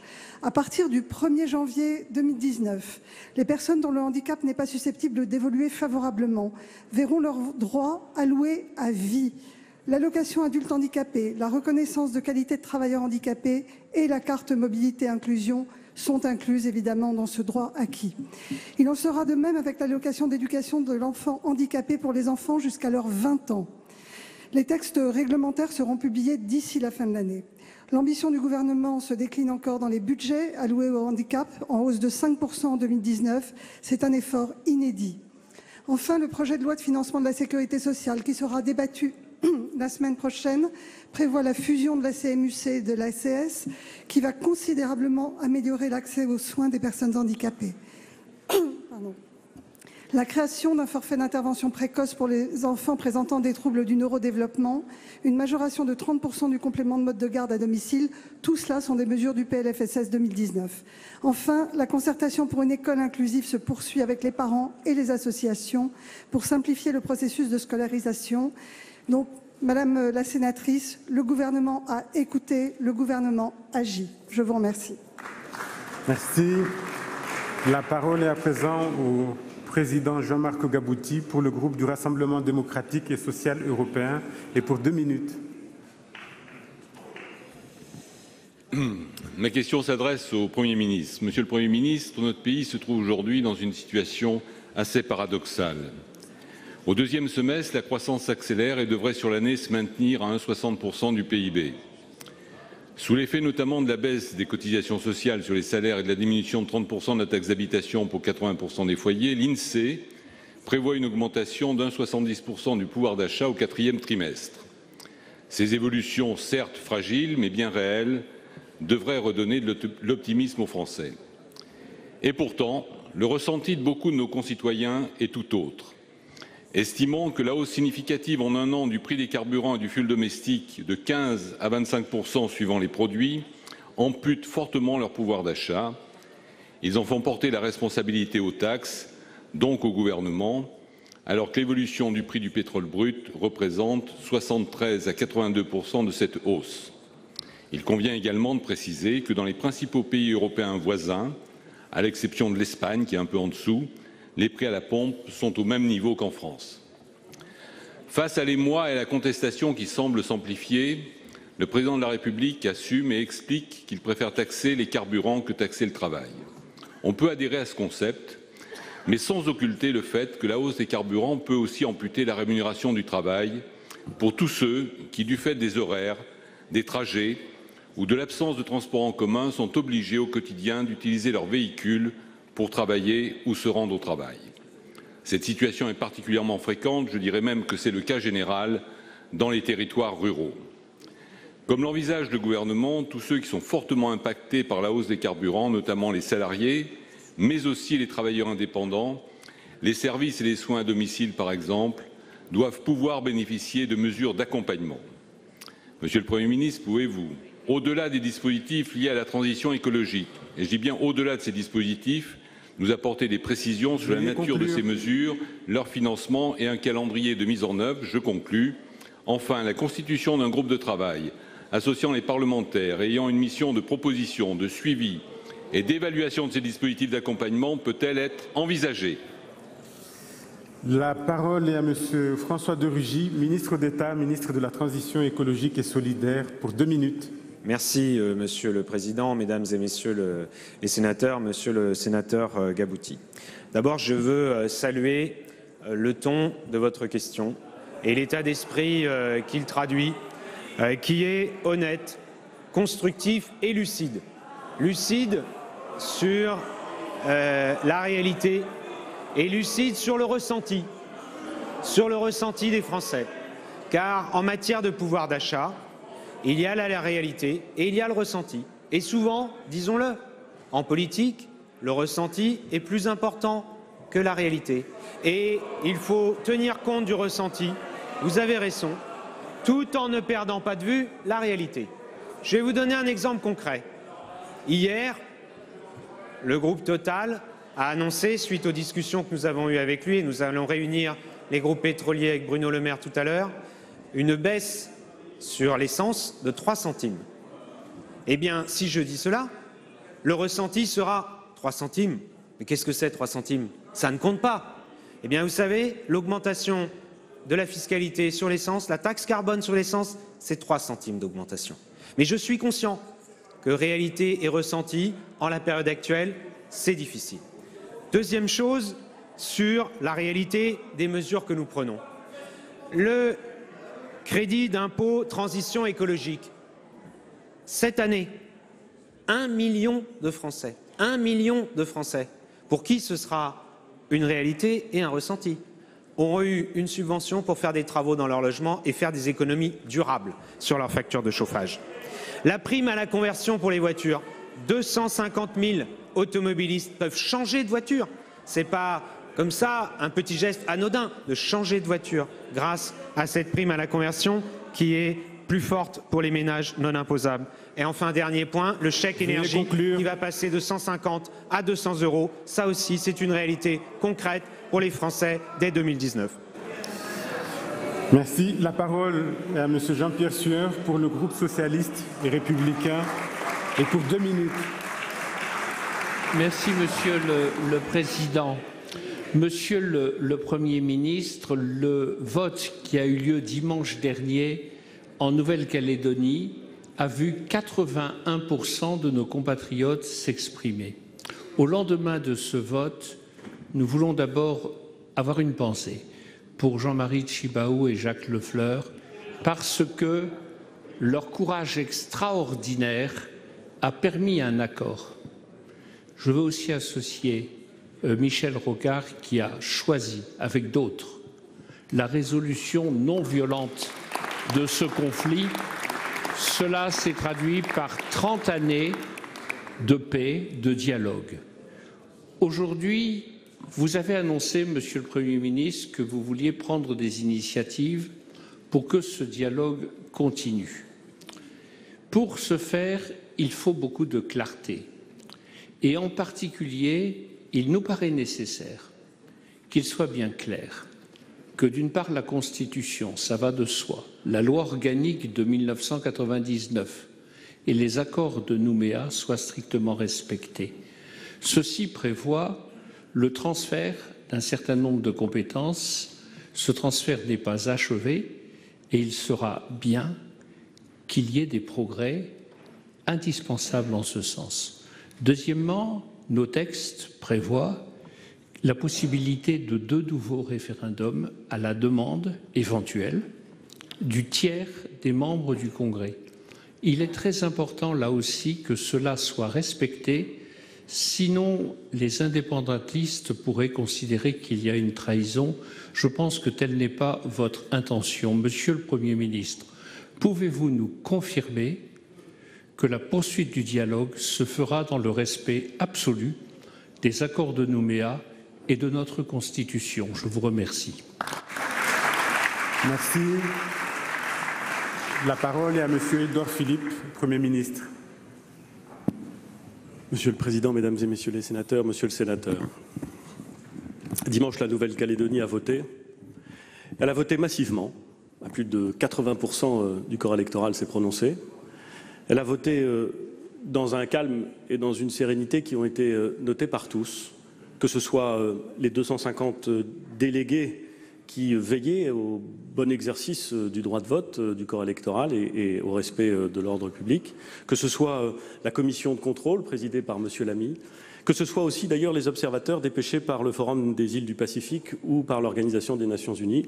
Tout le monde a pu observer que le scrutin s'était déroulé dans des conditions d'organisation remarquable. Je tiens à le dire, car la conséquence de cette remarquable organisation, la conséquence du calme avec lequel l'ensemble des forces politiques et l'ensemble euh, des électeurs de Nouvelle-Calédonie s'est prononcé, c'est que le résultat acquis dimanche soir n'est contesté par personne. Personne. C'est une excellente nouvelle. Et c'est une excellente nouvelle qui est due à l'engagement de l'ensemble des forces politiques de Nouvelle-Calédonie, au remarquable travail d'organisation réalisé à la fois par les services de l'État, par les maires, par euh, l'ensemble de ceux qui se sont engagés et qui ont concouru euh, à ce travail.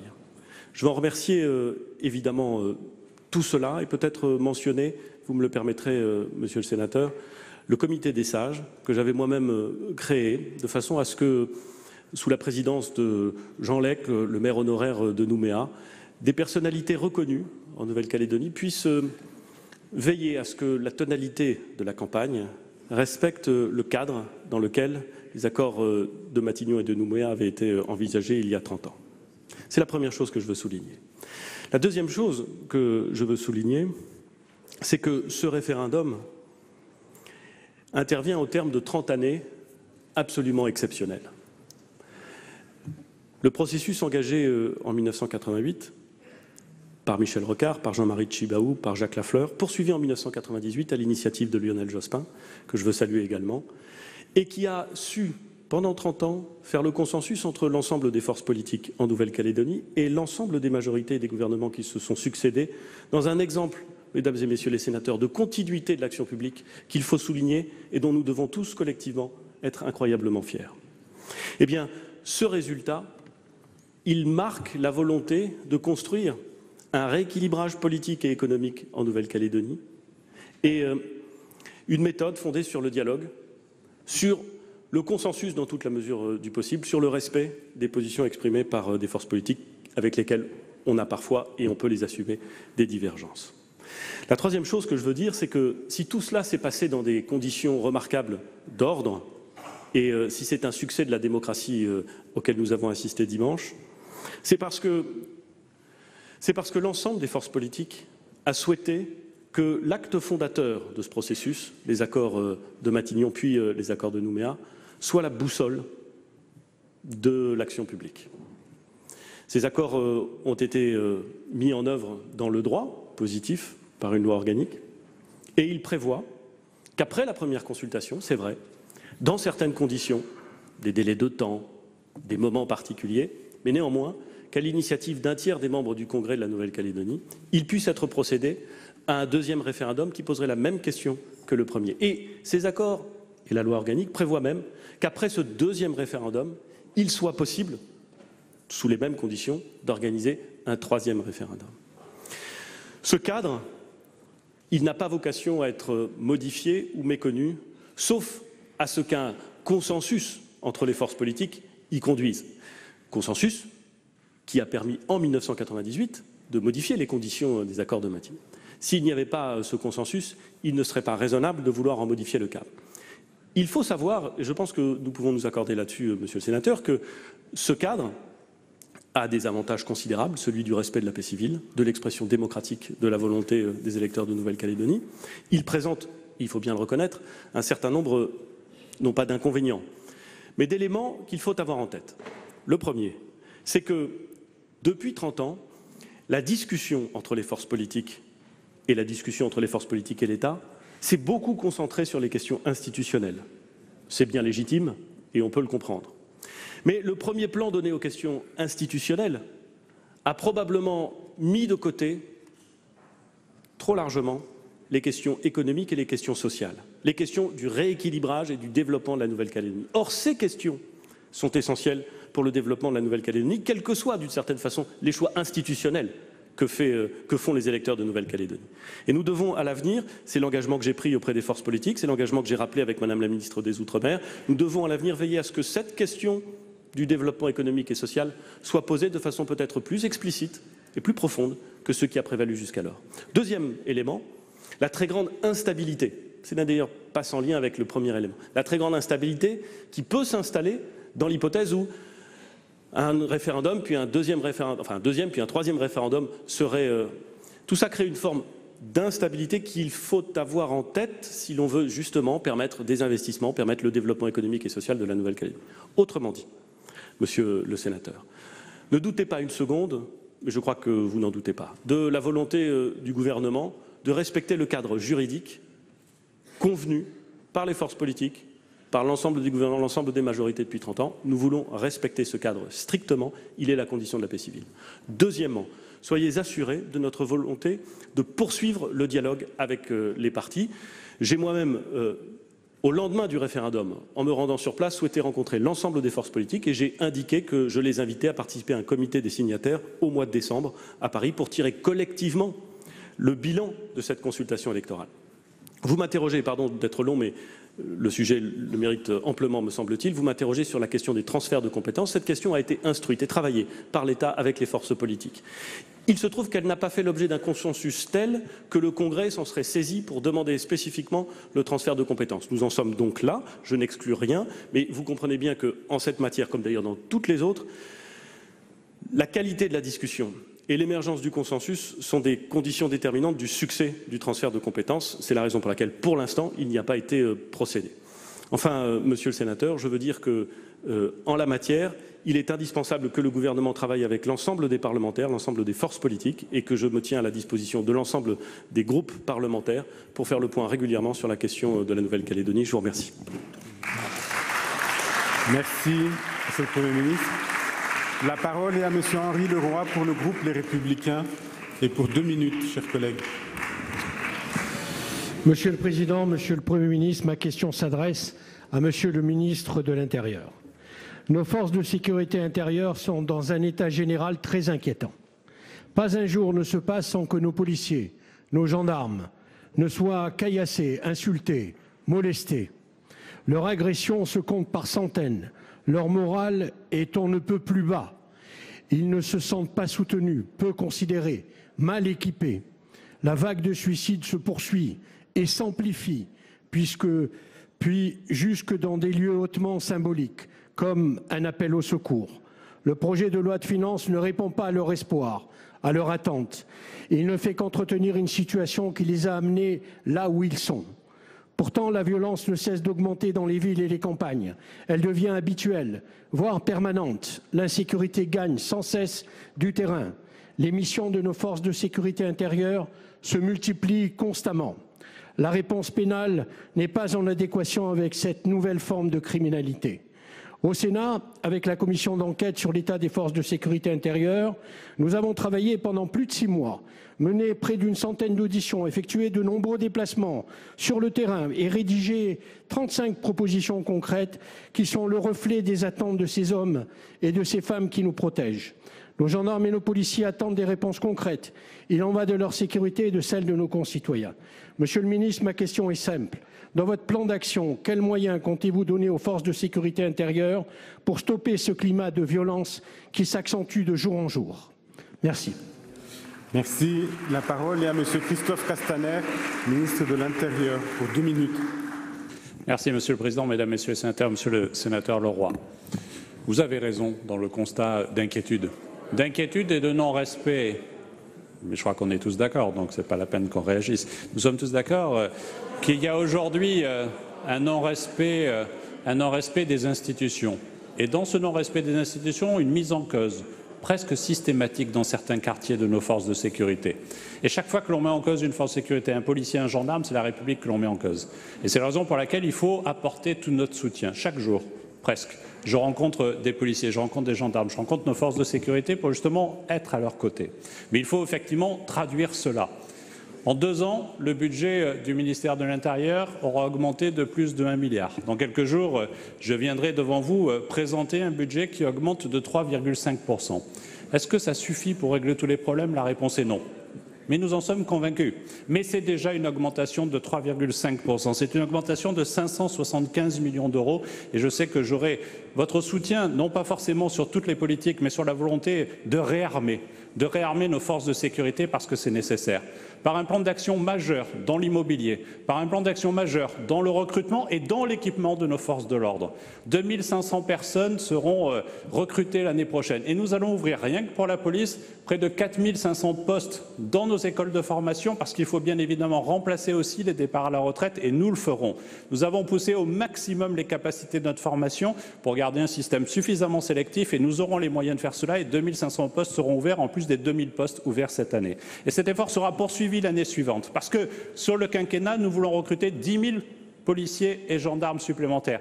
Et très vite, et l'effort a été porté sur les premières années, les dernières années, il n'y aura besoin plus que de recruter 1500 personnes par an parce que justement l'effort est porté immédiatement. Mais il nous faut aussi travailler sur la question de l'équipement et sur la défense. Et je veux vous dire que nous devons nous retrouver sur la revendication, sur l'exigence que jamais aucun incident, aucune mise en cause, aucune violence contre nos forces de sécurité, gendarmes, policiers, pompiers, ne soit acceptable dans ce pays et je sais pouvoir compter sur vous. Merci. Merci, Monsieur le ministre. Je vous ai écouté, mais n'oubliez pas d'entendre votre prédécesseur qui disait aujourd'hui les Français sont côte à côte, demain ils seront face à face. Ne semez pas la faiblesse, vous récolterez la violence. Merci. La parole est à Monsieur Philippe Bonnecarrère pour le groupe Union centriste. Et pour deux minutes. Madame, Madame la ministre, mes chers collègues, comment faire respecter la souveraineté française, la souveraineté européenne à la suite du retrait des États-Unis de l'accord par lequel l'Iran s'est engagé à geler son programme nucléaire. Le retrait des États-Unis de l'accord de Vienne est une préoccupation, notamment pour la France, l'Allemagne, le Royaume-Uni, qui estiment que le Moyen-Orient est plus stable avec cet accord que sans, que le monde est plus dangereux si le multilatéralisme est remplacé par le rapport de force dit bilatéral. Les États-Unis, mes chers collègues, considèrent que leur politique étrangère doit être la nôtre. C'est l'effet de l'extraterritorialité des lois américaines et en particulier de la deuxième vague de sanctions applicables depuis quatre jours à l'Iran, mais aussi à toutes les entreprises européennes. Aussi, Madame la Ministre, quelle sera l'action à venir de notre pays pour faire respecter notre souveraineté? Où en êtes-vous sur la création, la mise en œuvre du SPV, l'organisation d'un canal humanitaire, le maintien de la connexion de quelques banques iraniennes euh, à SWIFT et peut-être, à plus long terme, d'un rôle plus important donné à l'euro comme monnaie d'échange? Merci. La parole est à Madame Nathalie Loiseau, ministre chargée des Affaires européennes, pour deux minutes. Merci Monsieur le Président, Mesdames et Messieurs les sénateurs, Monsieur le sénateur Bonnecarrère. Comme vous le relevez, le 5 novembre, les États-Unis ont rétabli l'intégralité de leurs sanctions contre l'Iran. Il s'agit d'une deuxième vague de retour des sanctions qui vise les secteurs pétroliers et financiers. La France regrette vivement la décision américaine. Nous l'avons dit publiquement avec l'Allemagne, avec le Royaume-Uni et avec la haute représentante de l'Union européenne. Ensemble, nous avons rappelé notre soutien à la préservation du JCPOA ainsi qu'à la défense de nos entreprises qui commercent légitimement avec l'Iran. À ce jour, l'Iran met en œuvre ses engagements au titre de l'accord, comme l'a encore certifié l'Agence internationale pour l'énergie atomique dans son dernier rapport. C'est la condition du soutien de la France et de ses partenaires et la raison pour laquelle les Européens, mais aussi la Chine et la Russie, sont engagés à préserver l'accord et les bénéfices que l'Iran peut en retirer. S'agissant des Européens, c'est tout le sens du travail que nous menons pour mettre en place un fonds commun des créances, le SPV que vous avez mentionné, ce véhicule spécial que vous avez évoqué. À court terme, il vise à faciliter les transactions financières pour les entreprises qui souhaitent continuer de commercer avec l'Iran dans le respect du droit européen et international. Mais à plus long terme et au-delà du seul cas iranien, il s'agit de créer un outil de souveraineté économique pour l'Union européenne. Car vous avez parfaitement raison, nous ne pouvons accepter que nos entreprises, lorsqu'elles respectent notre droit, soient les victimes de sanctions extraterritoriales. Je salue à cet égard votre rapport d'information qui s'inscrit dans ces orientations. Je vous sais mobiliser sur ces questions.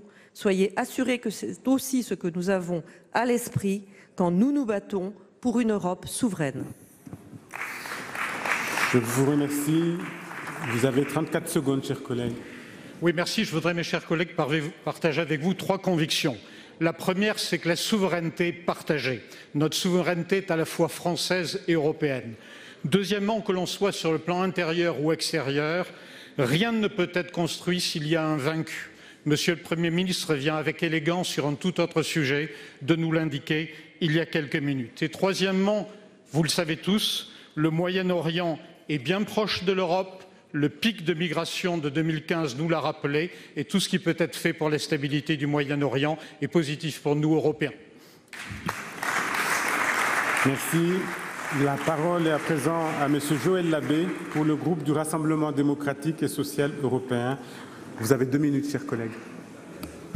Monsieur le Président, Mesdames et Messieurs les ministres, ma question s'adresse au ministre François de Rugy concerne les néonicotinoïdes. Ces néonicotinoïdes qui, en 2014, par dépit, m'avaient poussé à arracher ma cravate dans cet hémicycle. Nous pensions être définitivement libérés de ces pesticides neurotoxiques redoutables à l'égard des abeilles et de l'ensemble de la biodiversité, mais aussi de la santé humaine. Hier, nous apprenions par l'UNAF qu'un recours auprès du Conseil d'État porté par, j'ose le dire, l'abominable Union des industries de la protection des plantes menaçait le décret d'interdiction publié le 30 juillet 2018. Sur ce sujet, pourtant, notre pays a été audacieux et exemplaire. L'interdiction avait été votée dès 2016 dans le cadre de la loi biodiversité et la récente loi Egalim est venue renforcer cette interdiction en l'étendant aux molécules présentant le même mode d'action. Monsieur le ministre, j'ai trois questions convergentes. Pouvez-vous nous assurer que le gouvernement mobilise tous les moyens dont il dispose pour défendre ce décret? Si le décret venait à être annulé, le gouvernement s'engage-t-il à maintenir l'interdiction? Et des arrêtés de retrait des autorisations de mise sur le marché seront-ils pris en particulier pour le thiaclopride et l'acétamipride qui ne rentrent pas dans le champ de l'interdiction européenne des néonicotinoïdes. Cela est faisable, il y a des précédents, il y a le cruiser, il y a récemment le métamsodium et il y a aussi ces arrêtés successifs concernant les OGM euh, jusqu'à ce que l'Europe se bouge. C'est donc possible. Alors, Monsieur le Ministre, vous engagez-vous à tout mettre en œuvre pour porter politiquement cette interdiction et faire respecter une décision parlementaire correspondante aux attentes de nos concitoyens? Merci. La parole est à M. François de Rugy, ministre d'État, ministre de la Transition écologique et solidaire, pour deux minutes. Merci, euh, Monsieur le Président, Mesdames et Messieurs les sénateurs. Monsieur le sénateur Labbé, je connais votre engagement ancien et vous savez le mien sur cette question de la biodiversité en général et de la lutte contre euh, les néonicotinoïdes qu'on avait appelés les insecticides tueurs d'abeilles. Et pendant longtemps, euh, beaucoup de Français se sont inquiétés, pas simplement les apiculteurs, mais aussi les agriculteurs d'ailleurs, puisque finalement, la pollinisation, elle sert. C'est en quelque sorte un service qui est rendu euh, par les abeilles à euh, la nature en général, mais aussi les productions agricoles. Vous l'avez rappelé, la loi sur la biodiversité qui a été adoptée en 2016 a permis d'interdire cinq substances néonicotinoïdes et qui ont été ensuite inscrites dans le décret du 30 juillet 2018 pour la mise en œuvre de cette loi. Et c'est ce décret qui a été attaqué euh, en référé suspension devant le Conseil d'État euh, par l'association professionnelle UIPP. Euh, la position du gouvernement est claire et le président de la République l'a d'ailleurs rappelé depuis l'interdiction des néonicotinoïdes est et sera une réalité. D'ailleurs, le référé suspension a été rejeté sur la forme et sur le fond, bien sûr, il y aura un jugement bientôt du Conseil d'État. La loi agriculture et alimentation a même élargi la liste des produits euh, qui sont interdits à ce titre et nous faisons valoir activement nos arguments euh, en faveur de la validité de cette interdiction devant le Conseil d'État. Et la volonté du gouvernement sur ce sujet euh, est même confortée, comme en témoignent deux décisions récentes. Trois des cinq substances interdites en France viennent d'être interdites en parallèle au niveau européen depuis la fin septembre. Et l'interdiction de deux nouvelles substances dont le mode d'action est comparable aux néonicotinoïdes est inscrite dans la loi sur l'agriculture et l'alimentation. Je vous confirme donc la détermination de la France qui, comme sur d'autres produits, le glyphosate par exemple, est à la pointe au sein de l'Union européenne. Vous avez 8 secondes, cher collègue. Euh, monsieur le, le, ministre, je voudrais faire allusion au rapport du WWF qui vient de sortir ses conclusions et qui recommande, monsieur le ministre, à ce que la PAC soit copilotée par les ministres de l'Agriculture et de l'Environnement. C'était une demande de votre, de votre prédécesseur. Nous espérons vivement que vous la demanderez avec force. Merci. Merci. La parole est à madame Martine Berthet pour le groupe Les Républicains et pour deux minutes, chers collègues. Monsieur le Président, Mesdames et Messieurs les ministres, mes chers collègues, ma question s'adressait à Monsieur le Premier ministre à l'heure où l'Association des départements de France tient son congrès et je regrette très fortement que ce ne soit pas lui qui me réponde. Les départements sont les, collectivités de la solidarité, suffisamment proches pour être en contact avec les populations les plus déshéritées, suffisamment importantes pour assurer une solidarité entre les territoires. Aujourd'hui, les départements sont au pied du mur. L'État ne compense que très partiellement le coût du RSA et de l'APA. L'État leur fait supporter l'accueil des mineurs non accompagnés, alors que cette charge relève très largement de la politique d'immigration. Et l'État rêve de fondre les départements dans les métropoles. Le coût du RSA et de l'APA augmente inexorablement. Sur ces deux seules allocations, le reste à charge pour les départements n'est plus supportable. Par ailleurs, il y avait 25 000 mineurs non accompagnés en 2017. Il serait 40 000 en 2018 et la contribution de l'État ne dépassera pas les 16 Alors comment s'étonner que les départements soient exsangues sur le plan financier? Comment s'étonner que 30 d'entre eux soient dans l'impossibilité de faire face à leurs obligations? Devant l'explosion de leurs dépenses, l'État fera passer l'année prochaine sa participation à l'accueil des mineurs de 13 à 16 et vous annoncez une rallonge de 250 millions d'euros sur une dépense de 9 milliards s'agissant des aides individuelles de solidarité. Mais nous sommes loin, très loin du compte. Alors, Monsieur le Premier ministre, Madame la ministre, ma question est simple. Quel avenir voyez-vous pour les départements? Ont-ils encore le droit d'exister à vos yeux? La parole est à Madame Jacqueline Gouraud, ministre de la Cohésion des territoires et des relations avec les collectivités territoriales, pour deux minutes. Madame la, la sénatrice, commençons par la fin, si vous voulez bien. Il est vrai que les départements ont été euh, parfois menacés dans leur propre existence. Mais bien sûr, ce gouvernement a décidé, comme vous le savez, de respecter les institutions et il n'y aura pas de loi qui puisse ménager l'existence des départements. Ceci étant dit, la crise migratoire est bien sûr au cœur des préoccupations du gouvernement, comme l'a montré la réponse du ministre de l'Intérieur à une question euh, précédente. Et je connais bien sûr, et nous connaissons, les charges sur les départements dans leurs compétences de prise en charge des mineurs non accompagnés, mineurs étrangers non accompagnés. C'est pourquoi le Gouvernement travaille depuis ce printemps avec l'Association des départements de France pour améliorer la prise en charge et le financement des actions concernant ces mineurs. Plusieurs actions vont être mises en place, dont dès 2019, et ça n'est pas négligeable, c'était une demande forte des départements, nous allons créer un fichier national qui permettra d'éviter de multiplier les procédures successives d'évaluation dans des départements différents l'État assume pleinement sa mission régalienne en créant ce fichier national. Les préfets pourront également procéder à des répartitions entre départements. Là encore, c'est une mesure pragmatique de nature à éviter des situations locales très tendues. Mais l'engagement de l'État est aussi financier et se traduit dans les crédits PLF 2019 à hauteur de 141 millions d'euros pour l'accueil de ces mineurs par les départements. Je m'emploie à la tête du ministère des Territoires qui m'a été confié à renouer le dialogue avec les départements. C'est pourquoi nous avons décidé d'aller plus loin, après en avoir discuté avec Dominique Bussereau au cours des trois dernières semaines, pour améliorer encore la prise en charge des mineurs non accompagnés une fois qu'ils sont placés au sein d'une structure de l'aide sociale à l'enfance. Le gouvernement a donc entendu et j'expliquerai demain, j'expliciterai pardon, demain à Rennes devant euh, les présidents de conseils départementaux et j'espère que nos propositions seront également entendues.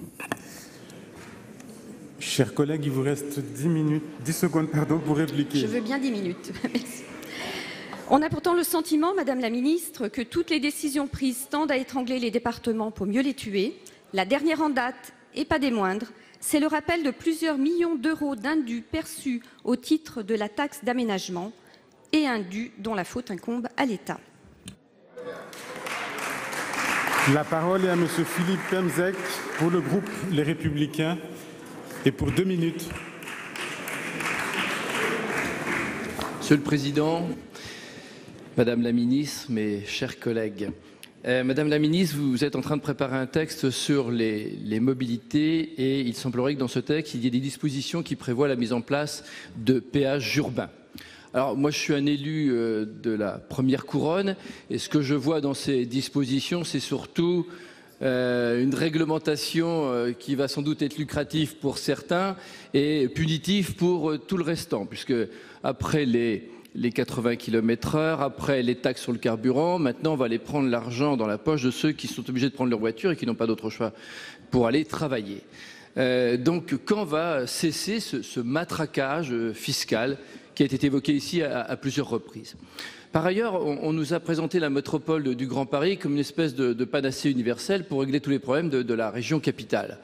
Euh, et pourquoi donc, euh, régler les problèmes au niveau de, la capitale de Paris? Pourquoi créer une espèce, si cela se fait, de barrière entre euh, des arrondissements qui seraient devenus des carrés privilégiés et nos villes de banlieue qui seront encore une fois mises au banc? Madame la ministre, le, transport, c'est la colonne vertébrale de, la région Île-de-France. Et si les gens prennent leur voiture, ça a été dit, mais je crois que ça mérite d'être répété, si les gens prennent leur voiture, c'est parce qu'ils n'ont pas le choix, ils ne le font pas par plaisir. Et si les, si les transports étaient plus confortables, plus sûrs, euh, plus ponctuels et plus accessibles, eh bien évidemment, euh, on n'en serait pas là. Alors ma question, euh, elle est simple. Est-ce que vous ne croyez pas que plutôt que de financer des infrastructures punitives, privative de, de, de, de pouvoir d'achat à, à, terme pour les gens. Est-ce que vous ne voyez pas qu'on devrait travailler sur ces problématiques de, mobilité en concertation avec la région métropole dont c'est la compétence? Merci. La parole est à Madame Elisabeth Borne, ministre chargée des Transports, pour deux minutes. Monsieur le Président, Mesdames et Messieurs les sénateurs, Monsieur le sénateur Pemzek, je crois qu'il faut arrêter de faire croire que le gouvernement mènerait une politique anti-voiture.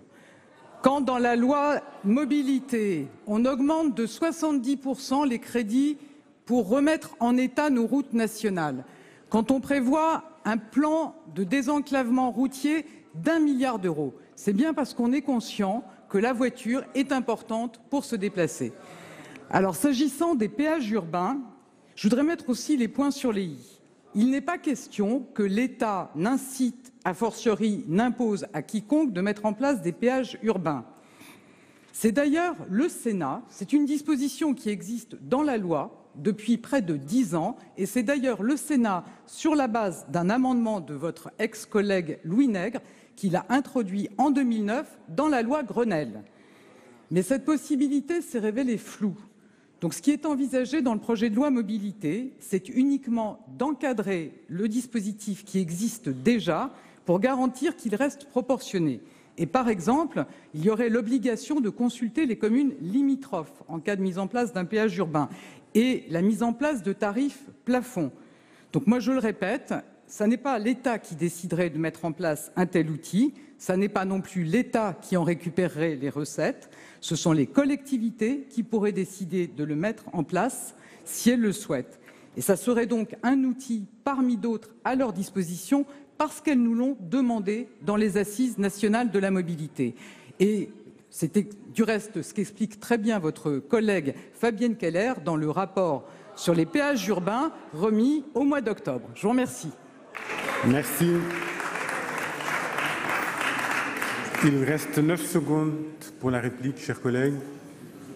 Vous ne les utilisez pas. Je, voudrais juste dire que euh, ce qui est important, c'est que l'État peut-être travaille avec la région, région métropole, et euh, fasse tout ce qu'il faut pour éviter qu'on rajoute à la thrombose actuelle et euh, qu'on arrête de, fiscaliser, de créer des impôts supplémentaires. Je crois qu'il y a des économies à faire par ailleurs plutôt que de toujours imaginer euh, des sources d'imposition nouvelles.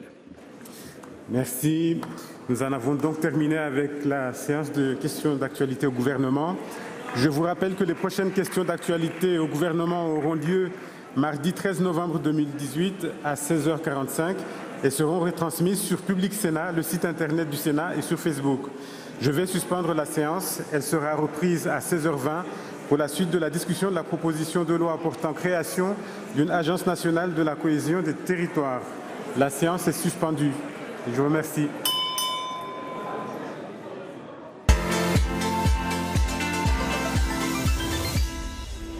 Et voilà pour ces questions d'actualité des sénateurs au gouvernement qui ont été marquées par la grogne contre la hausse des taxes sur les carburants. Et les critiques sont venues de tous les bords politiques du Sénat et notamment du côté communiste avec Fabien Gay qui a dénoncé un hold-up fiscal avec des taxes qui financent les cadeaux fiscaux faits aux plus riches dès le début du quinquennat d'Emmanuel Macron. Et c'est la secrétaire d'État Agnès Pannier-Runacher hein, qui est venue au micro pour répondre aux sénateurs. Et elle a assumé la fiscalité écologique du gouvernement et elle a subi la bronca et les huées des sénateurs.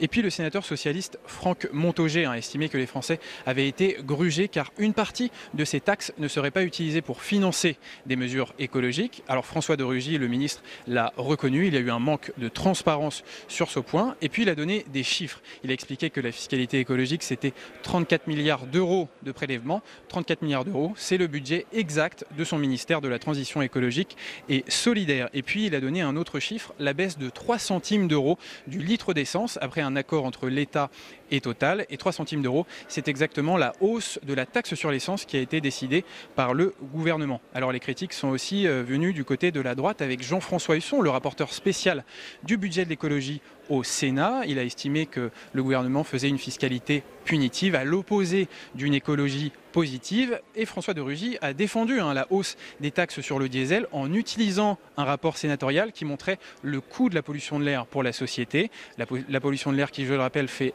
48 000 morts par an. Et François de Rugy a rappelé que ce rapport sénatorial avait été écrit par un certain Jean-François Husson, le sénateur Les Républicains, qui l'interrogeait. Voilà pour ces moments forts des questions d'actualité du Sénat au gouvernement. Merci à vous, euh, Alexandre Poussard, pour euh, toutes ces précisions.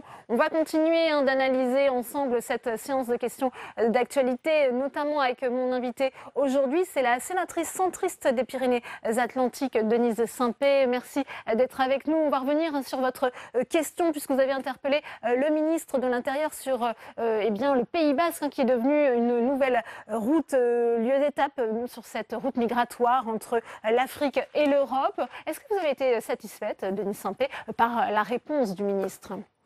Alors écoutez, j'ai été en partie satisfaite parce que le, ministre m'a répondu euh, sur les mesures euh, que le gouvernement avait déjà prises en, termes de, renforcement humain euh, de la frontière, mais je me suis permise de, de lui demander en réplique d'aller vite parce que j'ai bien entendu qu'il euh, m'a répondu que prochainement il rencontrerait à la fois les autorités espagnoles, c'était ma question aussi, comment pouvons-nous, la France peut travailler intelligemment avec l'Espagne, et également il m'a dit que prochainement il rencontrerait les autorités marocaines aussi pour parler de cette problématique.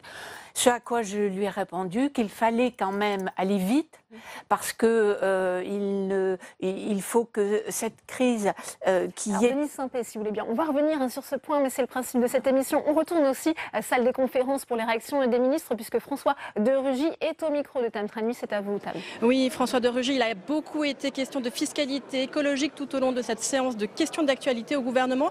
Et vous l'avez dit, eh bien, il faut de la transparence dans cette fiscalité, euh, car beaucoup euh, déplore eh bien, de ne pas savoir si eh bien, cette fiscalité va réellement vers la transition écologique. Oui, je comprends euh, d'abord l'irritation des Français face à l'augmentation des prix des carburants qui est d'abord liée à l'augmentation des prix du pétrole sur le marché mondial. Et par ailleurs, nous nous battons pour que dès qu'il y a une baisse sur le marché mondial, ce soit répercuté à la pompe, ce qui est le cas dans les stations totales dès hier, moins 3 centimes sur l'essence et le gasoil. Et puis sur, bien sûr, l'utilisation euh, de ces recettes perçues euh, sur euh, les carburants, sur le fuel, mais d'une manière générale la taxe carbone, eh bien, je me rends bien compte que tout le monde ne perçoit pas bien à quoi sert cet argent. Aujourd'hui, je veux donner quelques chiffres simples. Certains Euh, craignent 34 que ça aille au budget général de l'État et que la transition écologique ne voit pas cet argent. Oui, mais je, je- je vois bien le, le- le- le manque euh, d'éléments concrets. Aujourd'hui, euh, 34 milliards d'euros de recettes de la fiscalité écologique pour 2019, c'est important. 34 milliards d'euros, c'est le budget du ministère de la Transition écologique et solidaire qui augmente d'un milliard d'euros en 2019 parce que nous faisons un effort et parce que par ailleurs c'est une priorité. Nous avons à l'intérieur de ce budget un seul exemple. La taxe carbone en elle-même, c'est 7,9 milliards d'euros en 2019, eh bien, le soutien aux énergies renouvelables et le soutien aux transports, euh, aux infrastructures de transport, c'est 8,5 milliards d'euros. Donc ce sont des chiffres équivalents. Voilà ce qui est important à dire aujourd'hui aux Français. Un mot, François de Régie, et bien sûr les mesures d'accompagnement qui ont été annoncées par Emmanuel Macron en début euh, de semaine, qu'il s'agisse de l'amélioration du chèque énergie et puis aussi eh bien, euh, cette défiscalisation de l'aide au transport qui est déjà expérimentée dans les Hauts-de-France par Xavier Bertrand. Que pouvez-vous Oui, nous il dire y a des mesures qui existent déjà et que l'on peut amplifier. C'est le cas de la prime à la conversion, c'est-à-dire la prime à l'achat de voitures moins polluantes en mettant à la casse une vieille voiture très polluante. Ça marche très bien. Déjà, plus de 250 000 Français ont pu changer de voiture grâce à ce dispositif. Nous allons l'amplifier en 2019 et peut-être l'élargir. Le chèque énergie, il marche aussi pour 3,6 millions de Français.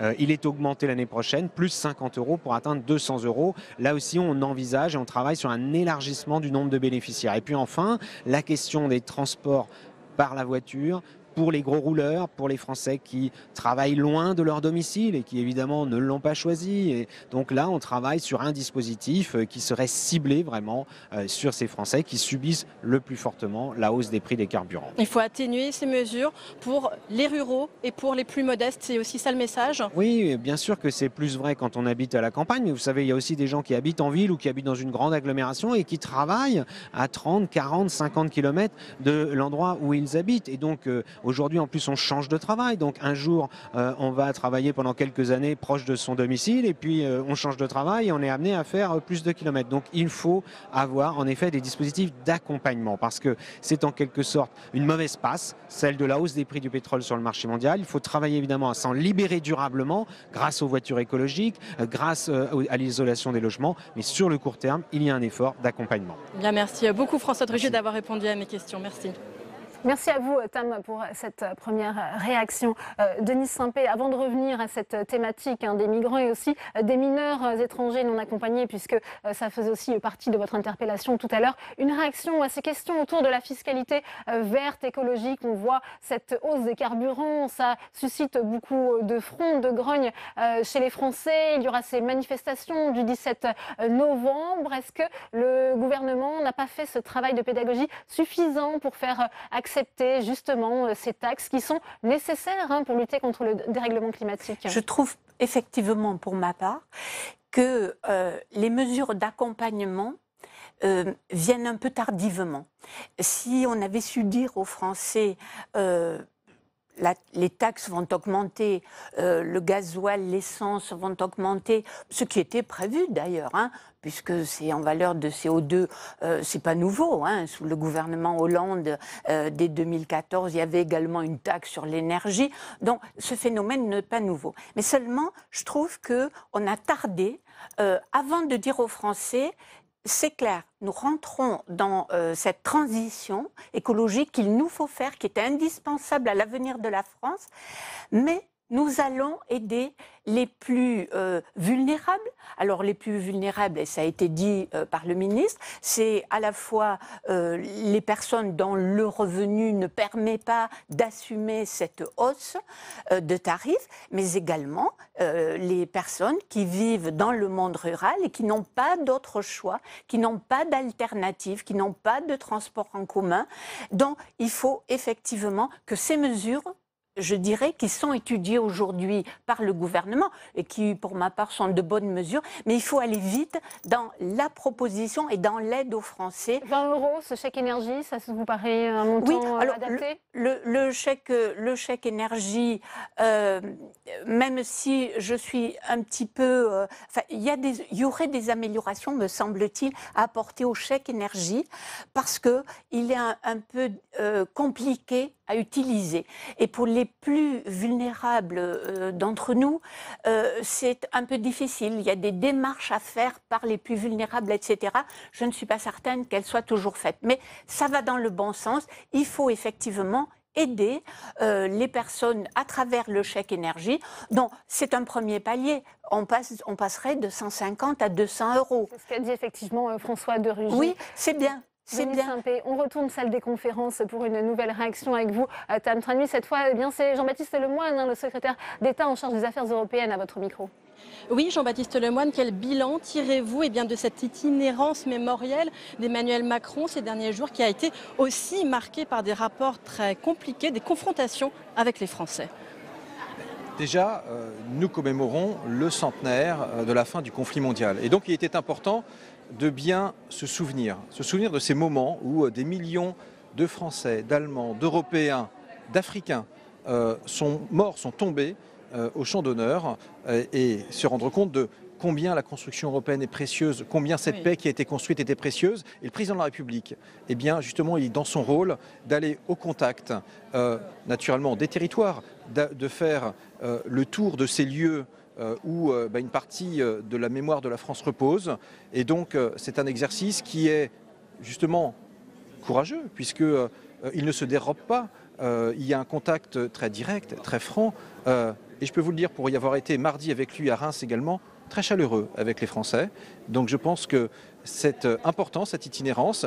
Elle n'est pas terminée d'ailleurs. Euh, nous aurons euh, un certain nombre de grands événements euh, le week-end prochain. Et je pense que l'unité nationale doit prévaloir en ces temps euh, de commémoration. Un moment chaleureux, mais aussi des moments euh, de colère. D'ailleurs, Gérard Larcher ben, euh, disait qu'il craignait qu'il y ait un véritable affrontement entre l'exécutif et la population et les Français euh, le 17 novembre avec ces gilets jaunes qui sont les nouveaux bonnets rouges. Est-ce que vous le craignez aussi? Est-ce qu'il y a des, des avertissements? Est-ce qu'il faut être à l'écoute de cette colère? Mais vous savez, président de la République, le gouvernement, euh, enfin, je veux dire, on est tous à l'écoute. Enfin, moi, je suis un élu local, de terrain, euh, et on n'est pas euh, en se fermant les yeux, les oreilles, etc. Au contraire, et d'ailleurs, le président de la République euh, a souhaité que soient étudiés euh, des aménagements en termes de fiscalité pour tenir compte de la difficulté. Donc, ce que je veux dire, c'est qu'on est au travail, et je peux vous dire qu'on hérite d'une situation aussi 30 ans de petite lâcheté des uns et des autres, des différents camps qui se rejetaient la balle. Aujourd'hui, nous, on travaille, on bosse, on se retrousse les manches. Alors oui, effectivement, il y a des réformes, il y a des transformations. Dans la vie quotidienne, c'est peut-être pas simple, mais je peux vous dire qu'on s'aime et à un moment, eh bien, les Français récolteront. Un dernier mot sur cette euh, polémique autour du maréchal Pétain qui a empoisonné eh bien, les deux derniers jours de cette itinérance mémorielle. Est-ce que vous admettez qu'il y a eu au moins une erreur de communication de la part du président de la République? Puisque finalement, on, euh, nous a redit aujourd'hui eh qu'il n'y aurait pas de, euh, de dommages rendus individuellement au maréchal Pétain. Ne fallait-il pas le dire plus tôt?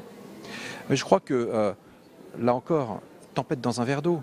Parce que euh, le président était interrogé d'ailleurs sur le fait qu'il ne serait pas lui personnellement présent euh, aux Invalides pour l'hommage rendu aux maréchaux de France qui sont aux Invalides.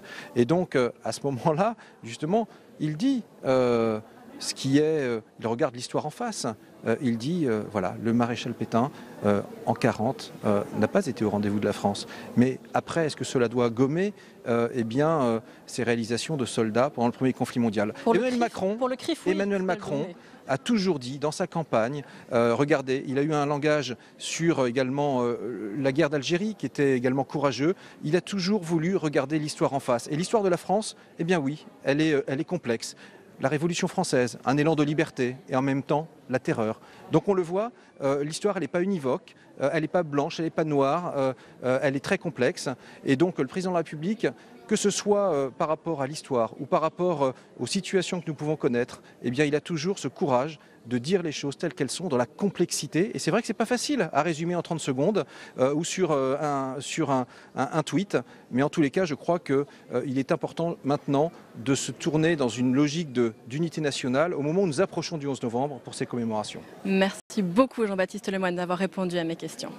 Merci à vous, euh, Tam. Euh, Denis Saint-Pé, cette itinérance mémorielle qui était vouée à regagner à la fois la confiance des élus locaux, mais aussi euh, des Français sur le terrain, ça a été rattrapé chaque jour par une polémique euh, quotidienne. Est-ce que finalement l'objectif de départ est raté pour le président de la Non, République? je, je ne pense pas. Je crois qu'il faut, euh, il faut accorder une place importante quand même à euh, cette pérégrination mémorielle.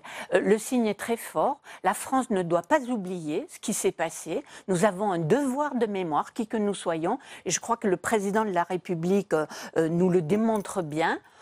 Maintenant, en termes de communication, je suis un peu plus réservée, effectivement. Alors, je, ne veux pas nier l'histoire, mais je crois qu'il faut que euh, le gouvernement et le président de la République prennent bien en compte le ressenti des Français. Et c'est vrai que euh, les Français... Notamment sur cette question de l'hommage. Et les Françaises euh, qui ont souffert euh, durant la Deuxième Guerre mondiale de par l'attitude, effectivement, du, du maréchal. Bon, je pense que euh, il faut, faire attention aussi, et c'est un peu ce qui manque dans cette communication gouvernementale, c'est-à-dire euh, soyons quand même proches de la sensibilité des Français euh, et des hommes et des femmes de France, je crois. Mais sinon, sur euh, le voyage mémoriel, je trouve que c'est bien. Nous avons tous un devoir de mémoire, et le président de la République nous montre que il, est le premier des Français à effectivement vouloir rendre hommage à tous ces hommes et toutes ces femmes qui sont, qui sont morts euh, pour que nous puissions vivre libres aujourd'hui. Denis Saint-Pé, vous avez donc évoqué cette question hein, des euh, migrants qui arrivent euh, maintenant notamment à Bayonne, euh, dans les Pyrénées-Atlantiques. C'est votre terre d'élection. C'est une situation nouvelle hein, pour ce département. Comment les villes et la municipalité a su s'adapter à cet afflux justement de migrants? Oui, c'est une situation nouvelle, hein, comme vous dites très justement, parce que jusque-là, il y avait le nord de la France qui était impacté, il y avait le sud-est de la France, mais dans le sud-ouest, venant des pays du Maghreb et de l'Espagne, euh, c'est bien, euh, c'est bien la première fois. Euh, écoutez, là, euh, j'ai rencontré euh, lundi dernier le maire de Bayonne, qui est président de l'agglomération du Pays Basque. Euh, lui et toutes ses équipes qui l'entourent ont bien conscience que sur le plan humain, euh, il faut faire des choses, surtout à l'entrée de l'hiver maintenant. Donc, euh, euh, tout le monde se retrousse les manches pour trouver des solutions à l'humanitaire, en étant entendu que Bayonne est un, un transit vers, vers le nord de la France, vers le nord de l'Europe. Donc, euh, tout le monde s'organise. Mais mon appel cet après-midi au ministre aussi, c'était de dire comment, monsieur le ministre, euh, vous allez aider à la fois la commune, l'intercommunalité, le département avec les mineurs non accompagnés. Il faut les soutenir, les aider. Je pense que le gouvernement est bien conscient de cela. Mais j'ai insisté aussi sur le fait qu'il faut aller vite, il faut vite trouver des solutions pour n'y- ne pas qu'il y ait des, des amalgames. euh, Le et populisme n'est jamais loin, c'est ce le populisme rappelé. n'est jamais loin. Et je peux vous dire que les élus euh, du Pays basque ne sont pas du tout dans le populisme. C'est une terre d'accueil, le Pays basque, et elle veut le rester. Et je trouve que c'est bien. Et il faut que tout le monde travaille dans le même sens pour y arriver, pour les aider. Alors Denis Saint-Pé, restez avec nous. On retourne une dernière fois salle de conférence puisque c'est votre collègue, la sénatrice euh, centriste de la Seine-Maritime, Catherine Morin de Sailly, qui est avec vous, Tam. Euh, Oui, et on va parler avec Catherine Morin de Sailly de cette journée nationale de lutte contre le harcèlement et euh, le fléau aujourd'hui, ces dernières années, c'est le cyberharcèlement contre lequel il est très difficile de lutter. Mais vous avez quelques propositions, Catherine Morin de Sailly. Oui, ce que je voulais dire, c'est que le cyberharcèlement démultiplie l'effet du harcèlement. La vitesse de propagation, le nombre de personnes touchées fait que la victime est encore plus, l'effet est encore plus terrible. Et on ne peut être que choqué par la détresse de tous ces jeunes, toutes ces familles qui se trouvent touchées. Moi, je pense que euh, Internet est une jungle. Euh, C'est une toile d'araignée faite de pièges. Et euh, les parents, les formateurs, c'est-à-dire les enseignants et les plus jeunes, les enfants, sont insuffisamment préparés euh, aux dangers de ce monde, aux risques potentiels. Il faut donc absolument que la montée en compétences de numérique pour tous soit vraiment une cause nationale. Je l'ai redit hier au ministre de l'Éducation nationale. Il ne suffit pas de former les professeurs de mathématiques et de sciences de l'informatique, mais il faut former tous les enseignants à aider les jeunes. Et oui, les- le problème du cyberharcèlement et d'Internet en général, c'est que souvent les pouvoirs publics ont tout de même un retard par rapport eh bien, au développement qu'il peut y avoir sur Internet. On le voit avec eh bien, le Darknet, avec eh bien, le Momo Challenge par exemple, des choses qui se développent sur WhatsApp et qui sont très dangereuses, notamment pour les enfants. Bien sûr, parce que l'écosystème numérique n'est pas expliqué à tous les utilisateurs. Donc c'est la raison pour laquelle, voilà, je fais un petit peu de publicité. J'ai produit un rapport sur la formation à l'heure du numérique de tous, depuis les enfants, en passant par les parents, les familles, les entreprises, les administrations Et il faut absolument un plan massif d'action pour permettre qu'à l'école, eh bien, on apprenne aux jeunes bah, de quoi faut se méfier, comment on se prémunit de toutes les attaques, de tous les phénomènes qui sont sur l'Internet. Il faut aussi plus de sécurité dans les écoles, globalement, Catherine Morin de Sailly Oui, et c'est la raison pour laquelle aussi nous avons voté euh, le cadre qui permet l'interdiction du portable à l'école pour qu'il y ait d'abord un vrai débat entre élèves et la communauté éducative sur la bonne utilisation du portable ou non et ses risques et ses potentialités, et qu'on puisse permettre une bonne utilisation et à des moments choisis de, euh, bien sûr, ces outils. Bien, merci beaucoup Catherine Morin-Desailly pour votre intervention. Merci, merci à vous. à vous pour cette dernière réaction. Euh, Denise Saint-Pé, vous êtes aussi sensible à ces questions de harcèlement dans les établissements scolaires. C'est aujourd'hui euh, la journée nationale de sensibilisation. Bien sûr que je suis sensibilisée euh, à cette problématique. Euh, j'ai lu euh, des statistiques. un enfant sur deux, à l'âge de 7 ans, est harcelé et un enfant sur quatre, un adolescent sur quatre, ce qui est énorme. Et je trouve que tout va dans, le bon sens et ce que vient de déclarer Catherine Morin de Sailly, je trouve est très bien. et l'important, c'est de libérer la parole. Comment faisons-nous pour pouvoir libérer la parole de ces jeunes, qu'ils aient envie de confier? Tout le monde ne peut pas se confier à la maison, dans le cadre familial. Donc, effectivement, toutes les, euh, tout ce qui est décidé qui pourra concourir à, la, à cette liberté de parole, euh, ce sera très important. Il faut que les jeunes et les adolescents puissent parler, se confier pour éviter ce problème de harcèlement qui est grave parce qu'il conduit beaucoup de jeunes, beaucoup trop de jeunes au suicide. Eh bien, merci beaucoup Denis Saint-Pé d'avoir été euh, l'invité de Public Sénat. On va maintenant prendre la direction de Rennes. Vous le savez, Public Sénat se mobilise pour vous faire vivre ce congrès de l'Assemblée des départements de France. Avec vous, Oriane Mancini, pour la suite de cette table ronde.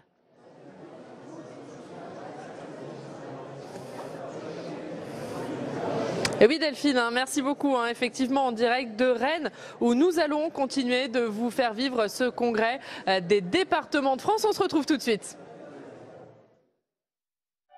Public Sénat, avec le soutien de l'Assemblée des départements de France et TV présente le Congrès des départements de France.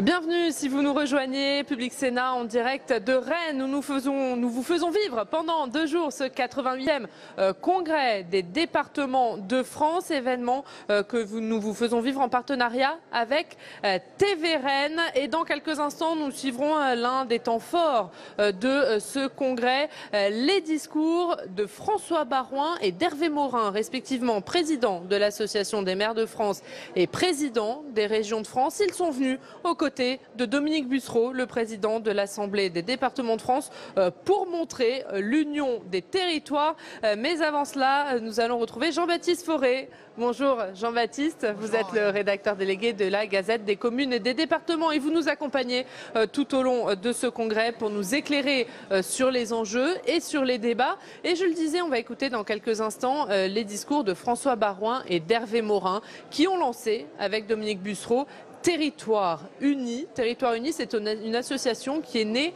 à Marseille. Expliquez-nous, euh, Jean-Baptiste, ce qui s'est passé lors de cet appel de Marseille dont on a parlé.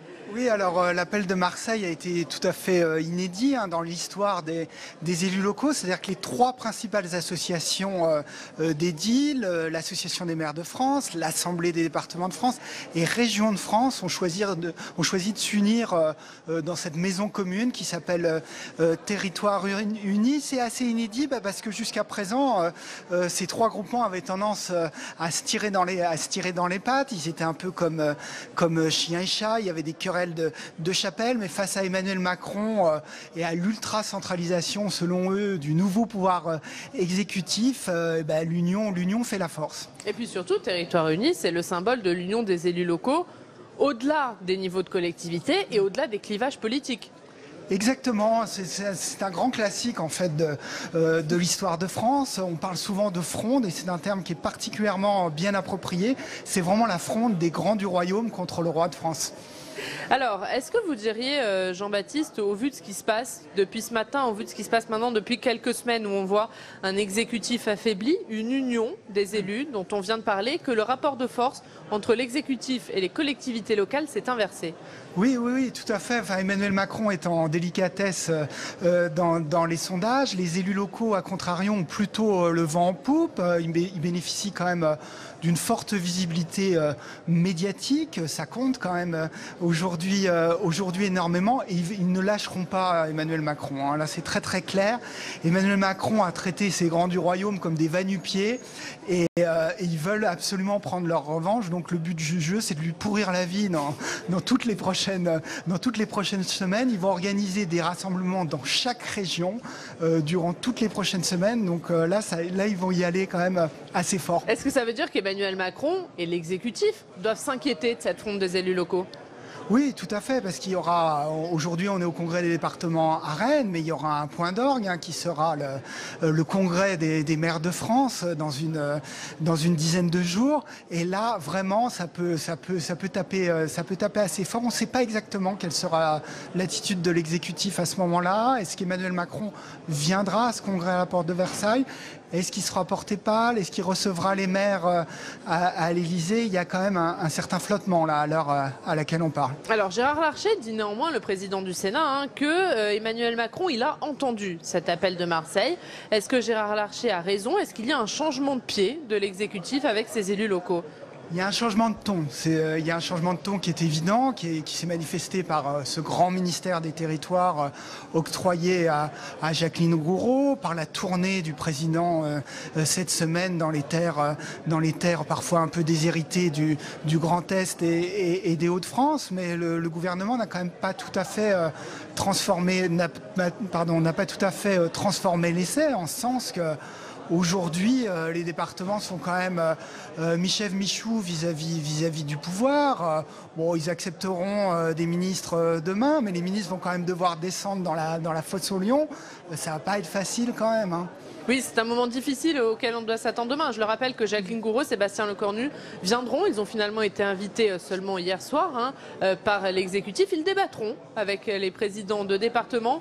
Il faut s'attendre à un moment difficile pour les ministres alors le, casting qu'a mis en place euh, mis en place Emmanuel Macron est quand même particulièrement calibré pour ce type d'épreuve de force. Enfin, je songe en particulier à Sébastien Lecornu le ministre en charge des collectivités auprès de, Jacqueline Gouraud. Sébastien Lecornu, c'est un ancien président de département. Donc, euh, Et même le plus jeune président de département. Tout à fait. C'est le plus jeune, c'était le plus jeune président de département. C'est quand même un vieux briscard de la politique qui sait y faire, qui est particulièrement euh, euh, madré et euh, il est possible qu'il se sorte très très bien de, cette épreuve demain. Et Jacqueline Gouraud, qui elle aussi hein, connaît bien les élus locaux. Hein. Jacqueline Gouraud a été maire pendant très longtemps, elle était vice-présidente de l'AMF. Est-ce que c'est un atout?